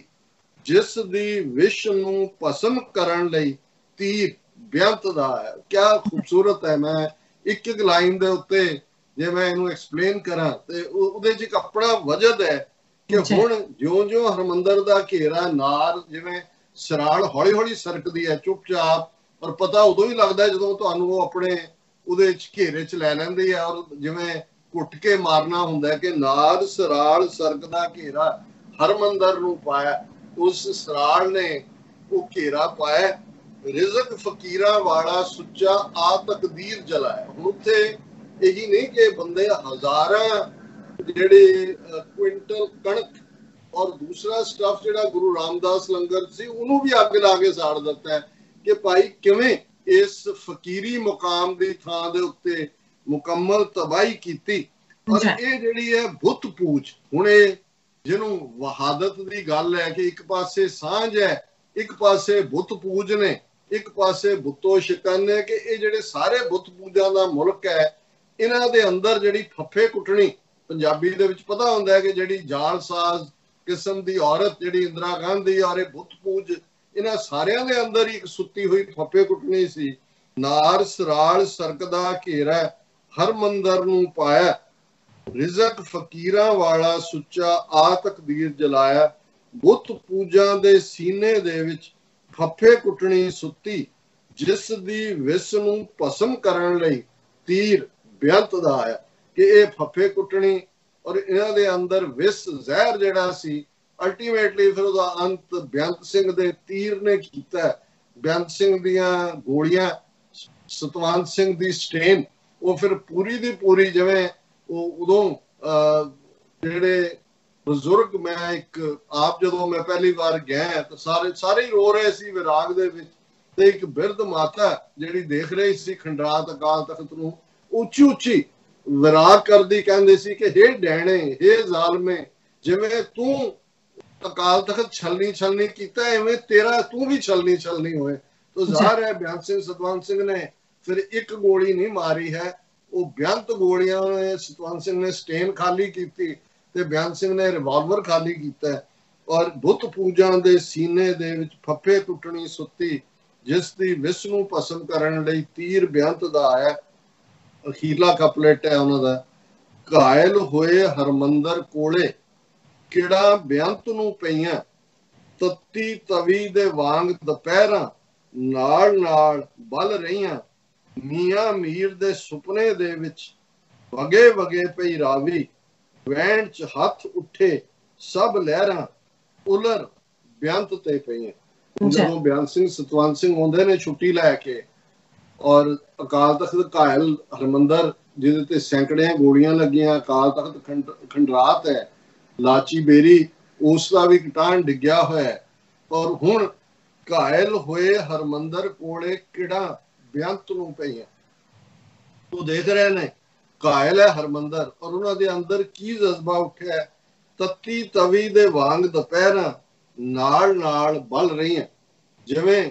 ਤੱਤੀ ਤਵੀ ਤੇ ਗੁਰੂ ਅਰਜਨ ਬੈਠੇ ਨੇ, ਇਵੇਂ ਮਾਨੋ ਉਹਨਾਂ ਦੇ ਅੰਦਰ ਉਹ ਤਵੀ ਬਲ ਰਹੀ ਹੈ। ਔਰ ਉਹਨਾਂ ਦੇ ਅੰਦਰ ਜਿਹੜਾ ਜਿਵੇਂ ਸਿਖਰ ਦੁਪਹਿਰ ਉਹ ਤੱਤੀ ਤਵੀ ਹੋਏਗੀ ਇਵੇਂ ਉਹਨਾਂ ਦੇ ਅੰਦਰ ਉਹ ਰੋਹ ਦੀ ਅੱਗ ਬਲ ਰਹੀ ਹੈ। ਮੀਆਂ ਮੀਰ ਦੇ ਸੁਪਨੇ ਦੇ ਵਿੱਚ ਵਗੇ ਵਗੇ ਪਈ ਰਾਵੀ। ਹੁਣ ਜ਼ਾਹਰ ਹੈ ਸੰਗੇ ਬੁਨਿਆਦ ਮੀਆਂ ਮੀਰ ਰੱਖਦੇ ਨੇ। ਗੁਰੂ ਅਰਜਨ ਸਾਹਿਬ ਦੀ ਸ਼ਹਾਦਤ ਅਲਟੀਮੇਟਲੀ ਰਾਵੀ ਦੇ ਵਿੱਚ ਹੁੰਦੀ ਹੈ ਕਿ ਮੀਆਂ ਮੀਰ ਵੀ ਉੱਥੇ ਮੌਜੂਦ ਹੈ ਔਰ ਉਹ ਰਾਵੀ ਦਾ ਜਿਹੜਾ ਉਹ ਰਾਵੀ ਸਾਰਾ ਦਰਿਆ ਉਛਲਦਾ ਹੈ। ਵੈਣ ਚ ਹੱਥ ਉੱਠੇ ਸਭ ਲਹਿਰ ਕਿ ਭਾਈ ਜਿਵੇਂ ਮੀਆਂ ਮੀਰ ਨੇ ਵੀ ਹੱਥ ਚੁੱਕ ਕੇ ਦੁਆ ਕੀਤੀ ਕਿ ਸਜ਼ਾ ਯਾਫਤਾ ਹੋਏ, ਇਹ ਕਾਰਾ ਕਰਨ ਵਾਲੀ ਵੈਣ ਚ ਹੱਥ ਉੱਠੇ ਸਭ ਲਹਿਰਾਂ ਉਲਰ ਬਿਆੰਤ ਤੇ ਪਈਆਂ। ਜਿਵੇਂ ਸਾਰੇ ਦਾ ਸਾਰਾ ਰਾਵੀ ਦਾ ਦਰਿਆ ਉਲਰ ਕੇ ਬਿਆੰਤ ਸਿੰਘ ਦੇ ਅੰਦਰ, ਜਿਹੜੀ ਉਹ ਅੱਗ ਹੈ, ਉਹਨੂੰ ਕਹੇ ਕਿ ਭਈ ਇਹ ਹੁਣ ਜਿਹੜਾ ਹੈ, ਇਹ ਇਹਨੂੰ ਤੂੰ ਹੀ ਸਜ਼ਾ ਯਾਫਤਾ ਕਰੇਗਾ। ਔਰ ਬਿਆੰਤ ਸਿੰਘ, ਸਤਵੰਤ ਸਿੰਘ ਨੇ ਜਿਹੜਾ ਇਤਿਹਾਸਕ ਕਾਰਨਾਮਾ ਕਰ ਦਿਖਾਇਆ। ਉਹਨੇ ਜਿਹੜਾ ਹਮੇਸ਼ਾ ਦੇ ਲਈ ਸਿੱਖ ਇਤਿਹਾਸ ਦੇ ਵਿੱਚ ਹੀ ਨਹੀਂ ਕੁੱਲ ਇਨਸਾਨੀਅਤ ਦੇ ਇਤਿਹਾਸ ਕਿ ਭਾਈ ਸਿਨ ਕਿਲਸ ਦਾ ਸਿਨਰ ਕਹਿੰਦੇ ਸੀ ਲੇਕਿਨ ਇੱਥੇ ਇਹਨਾਂ ਦੋਨਾਂ ਯੋਧਿਆਂ ਨੇ ਦੱਸਿਆ ਕਿ ਅਣਖ ਕਿਨੂੰ ਕਹਿੰਦੇ ਨੇ ਗੈਰਤ ਕਿਨੂੰ ਕਹਿੰਦੇ ਨੇ ਤੇ ਜੋ ਵੀ ਹਰਮੰਦਰ ਵੱਲ ਉੱਠੇਗੀ ਉਹ ਜਿਹੜੀ ਆ ਅੱਖ ਫਿਰ ਅੱਖ ਨਹੀਂ ਰਹਿਣ ਦਿੱਤੀ ਜਾਏਗੀ ਇਹ ਉਹਨਾਂ ਨੇ ਮੈਸੇਜ ਜੀ ਡਾਕਟਰ ਸਾਹਿਬ, ਸਾਡਾ ਸਲਾਮ ਹੈ, ਸਾਡਾ ਸਿਰ ਸਜਦਾ ਹੈ ਇਹਨਾਂ ਸਾਰੇ ਸ਼ਹੀਦਾਂ ਦੇ ਅੱਗੇ, ਜਿਹੜੇ ਕਿ ਜੂਨ 84 ਦੇ ਕੱਲੂਕਾਰੇ ਵਿੱਚ ਸ਼ਹੀਦ ਹੋਏ ਨੇ। ਸੋ ਡਾਕਟਰ ਸਾਹਿਬ, ਤੁਹਾਡਾ ਬਹੁਤ-ਬਹੁਤ ਸ਼ੁਕਰੀਆ। ਤੁਸੀਂ ਆਪਣੇ ਵਿਚਾਰਾਂ ਦੀ ਸਾਂਝ ਸਾਡੇ ਦਰਸ਼ਕਾਂ ਨਾਲ ਸ਼ੇਅਰ ਕੀਤੀ ਹੈ। ਸੋ ਇੱਥੇ ਆਪਣੇ ਵਿਊਅਰਸ ਕੋਲ ਲੈਣੇ ਇਜਾਜ਼ਤ ਵਿਊਅਰਸ ਸਾਡੇ ਪ੍ਰੋਗਰਾਮ ਦਾ ਸਮਾਂ ਇੱਥੇ ਸਮਾਪਤ ਹੁੰਦਾ ਤੁਸੀਂ ਆਪਣੀ ਰਾਏ ਤੇ ਸੁਝਾਅ ਸਾਨੂੰ ਭੇਜਣਾ ਭੁੱਲਣਾ ਸਾਡੇ ਇਸ ਪਤੇ ਤੇ। Soshtvd4.tv ਤੇ ਅਸੀਂ ਆਪਣਾ ਪ੍ਰੋਗਰਾਮ ਲੈ ਕੇ ਫਿਰ ਦੁਬਾਰਾ ਤੁਹਾਡੇ ਸਨਮੁਖ ਹੋਵਾਂਗੇ, ਤਦ ਤੱਕ ਲਈ ਮੈਨੂੰ ਤੇ ਪ੍ਰਾਰਥਨਾ ਗਿਆ ਦੋ। ਦੇਖਦੇ ਰਹੋ ਚੀਵੀ 84 ਬੁਲਾ ਦਿਓ ਫਤਿਹ। ਵਾਹਿਗੁਰੂ ਜੀ ਕਾ ਖਾਲਸਾ, ਵਾਹਿਗੁਰੂ ਜੀ ਕੀ ਫਤਿਹ।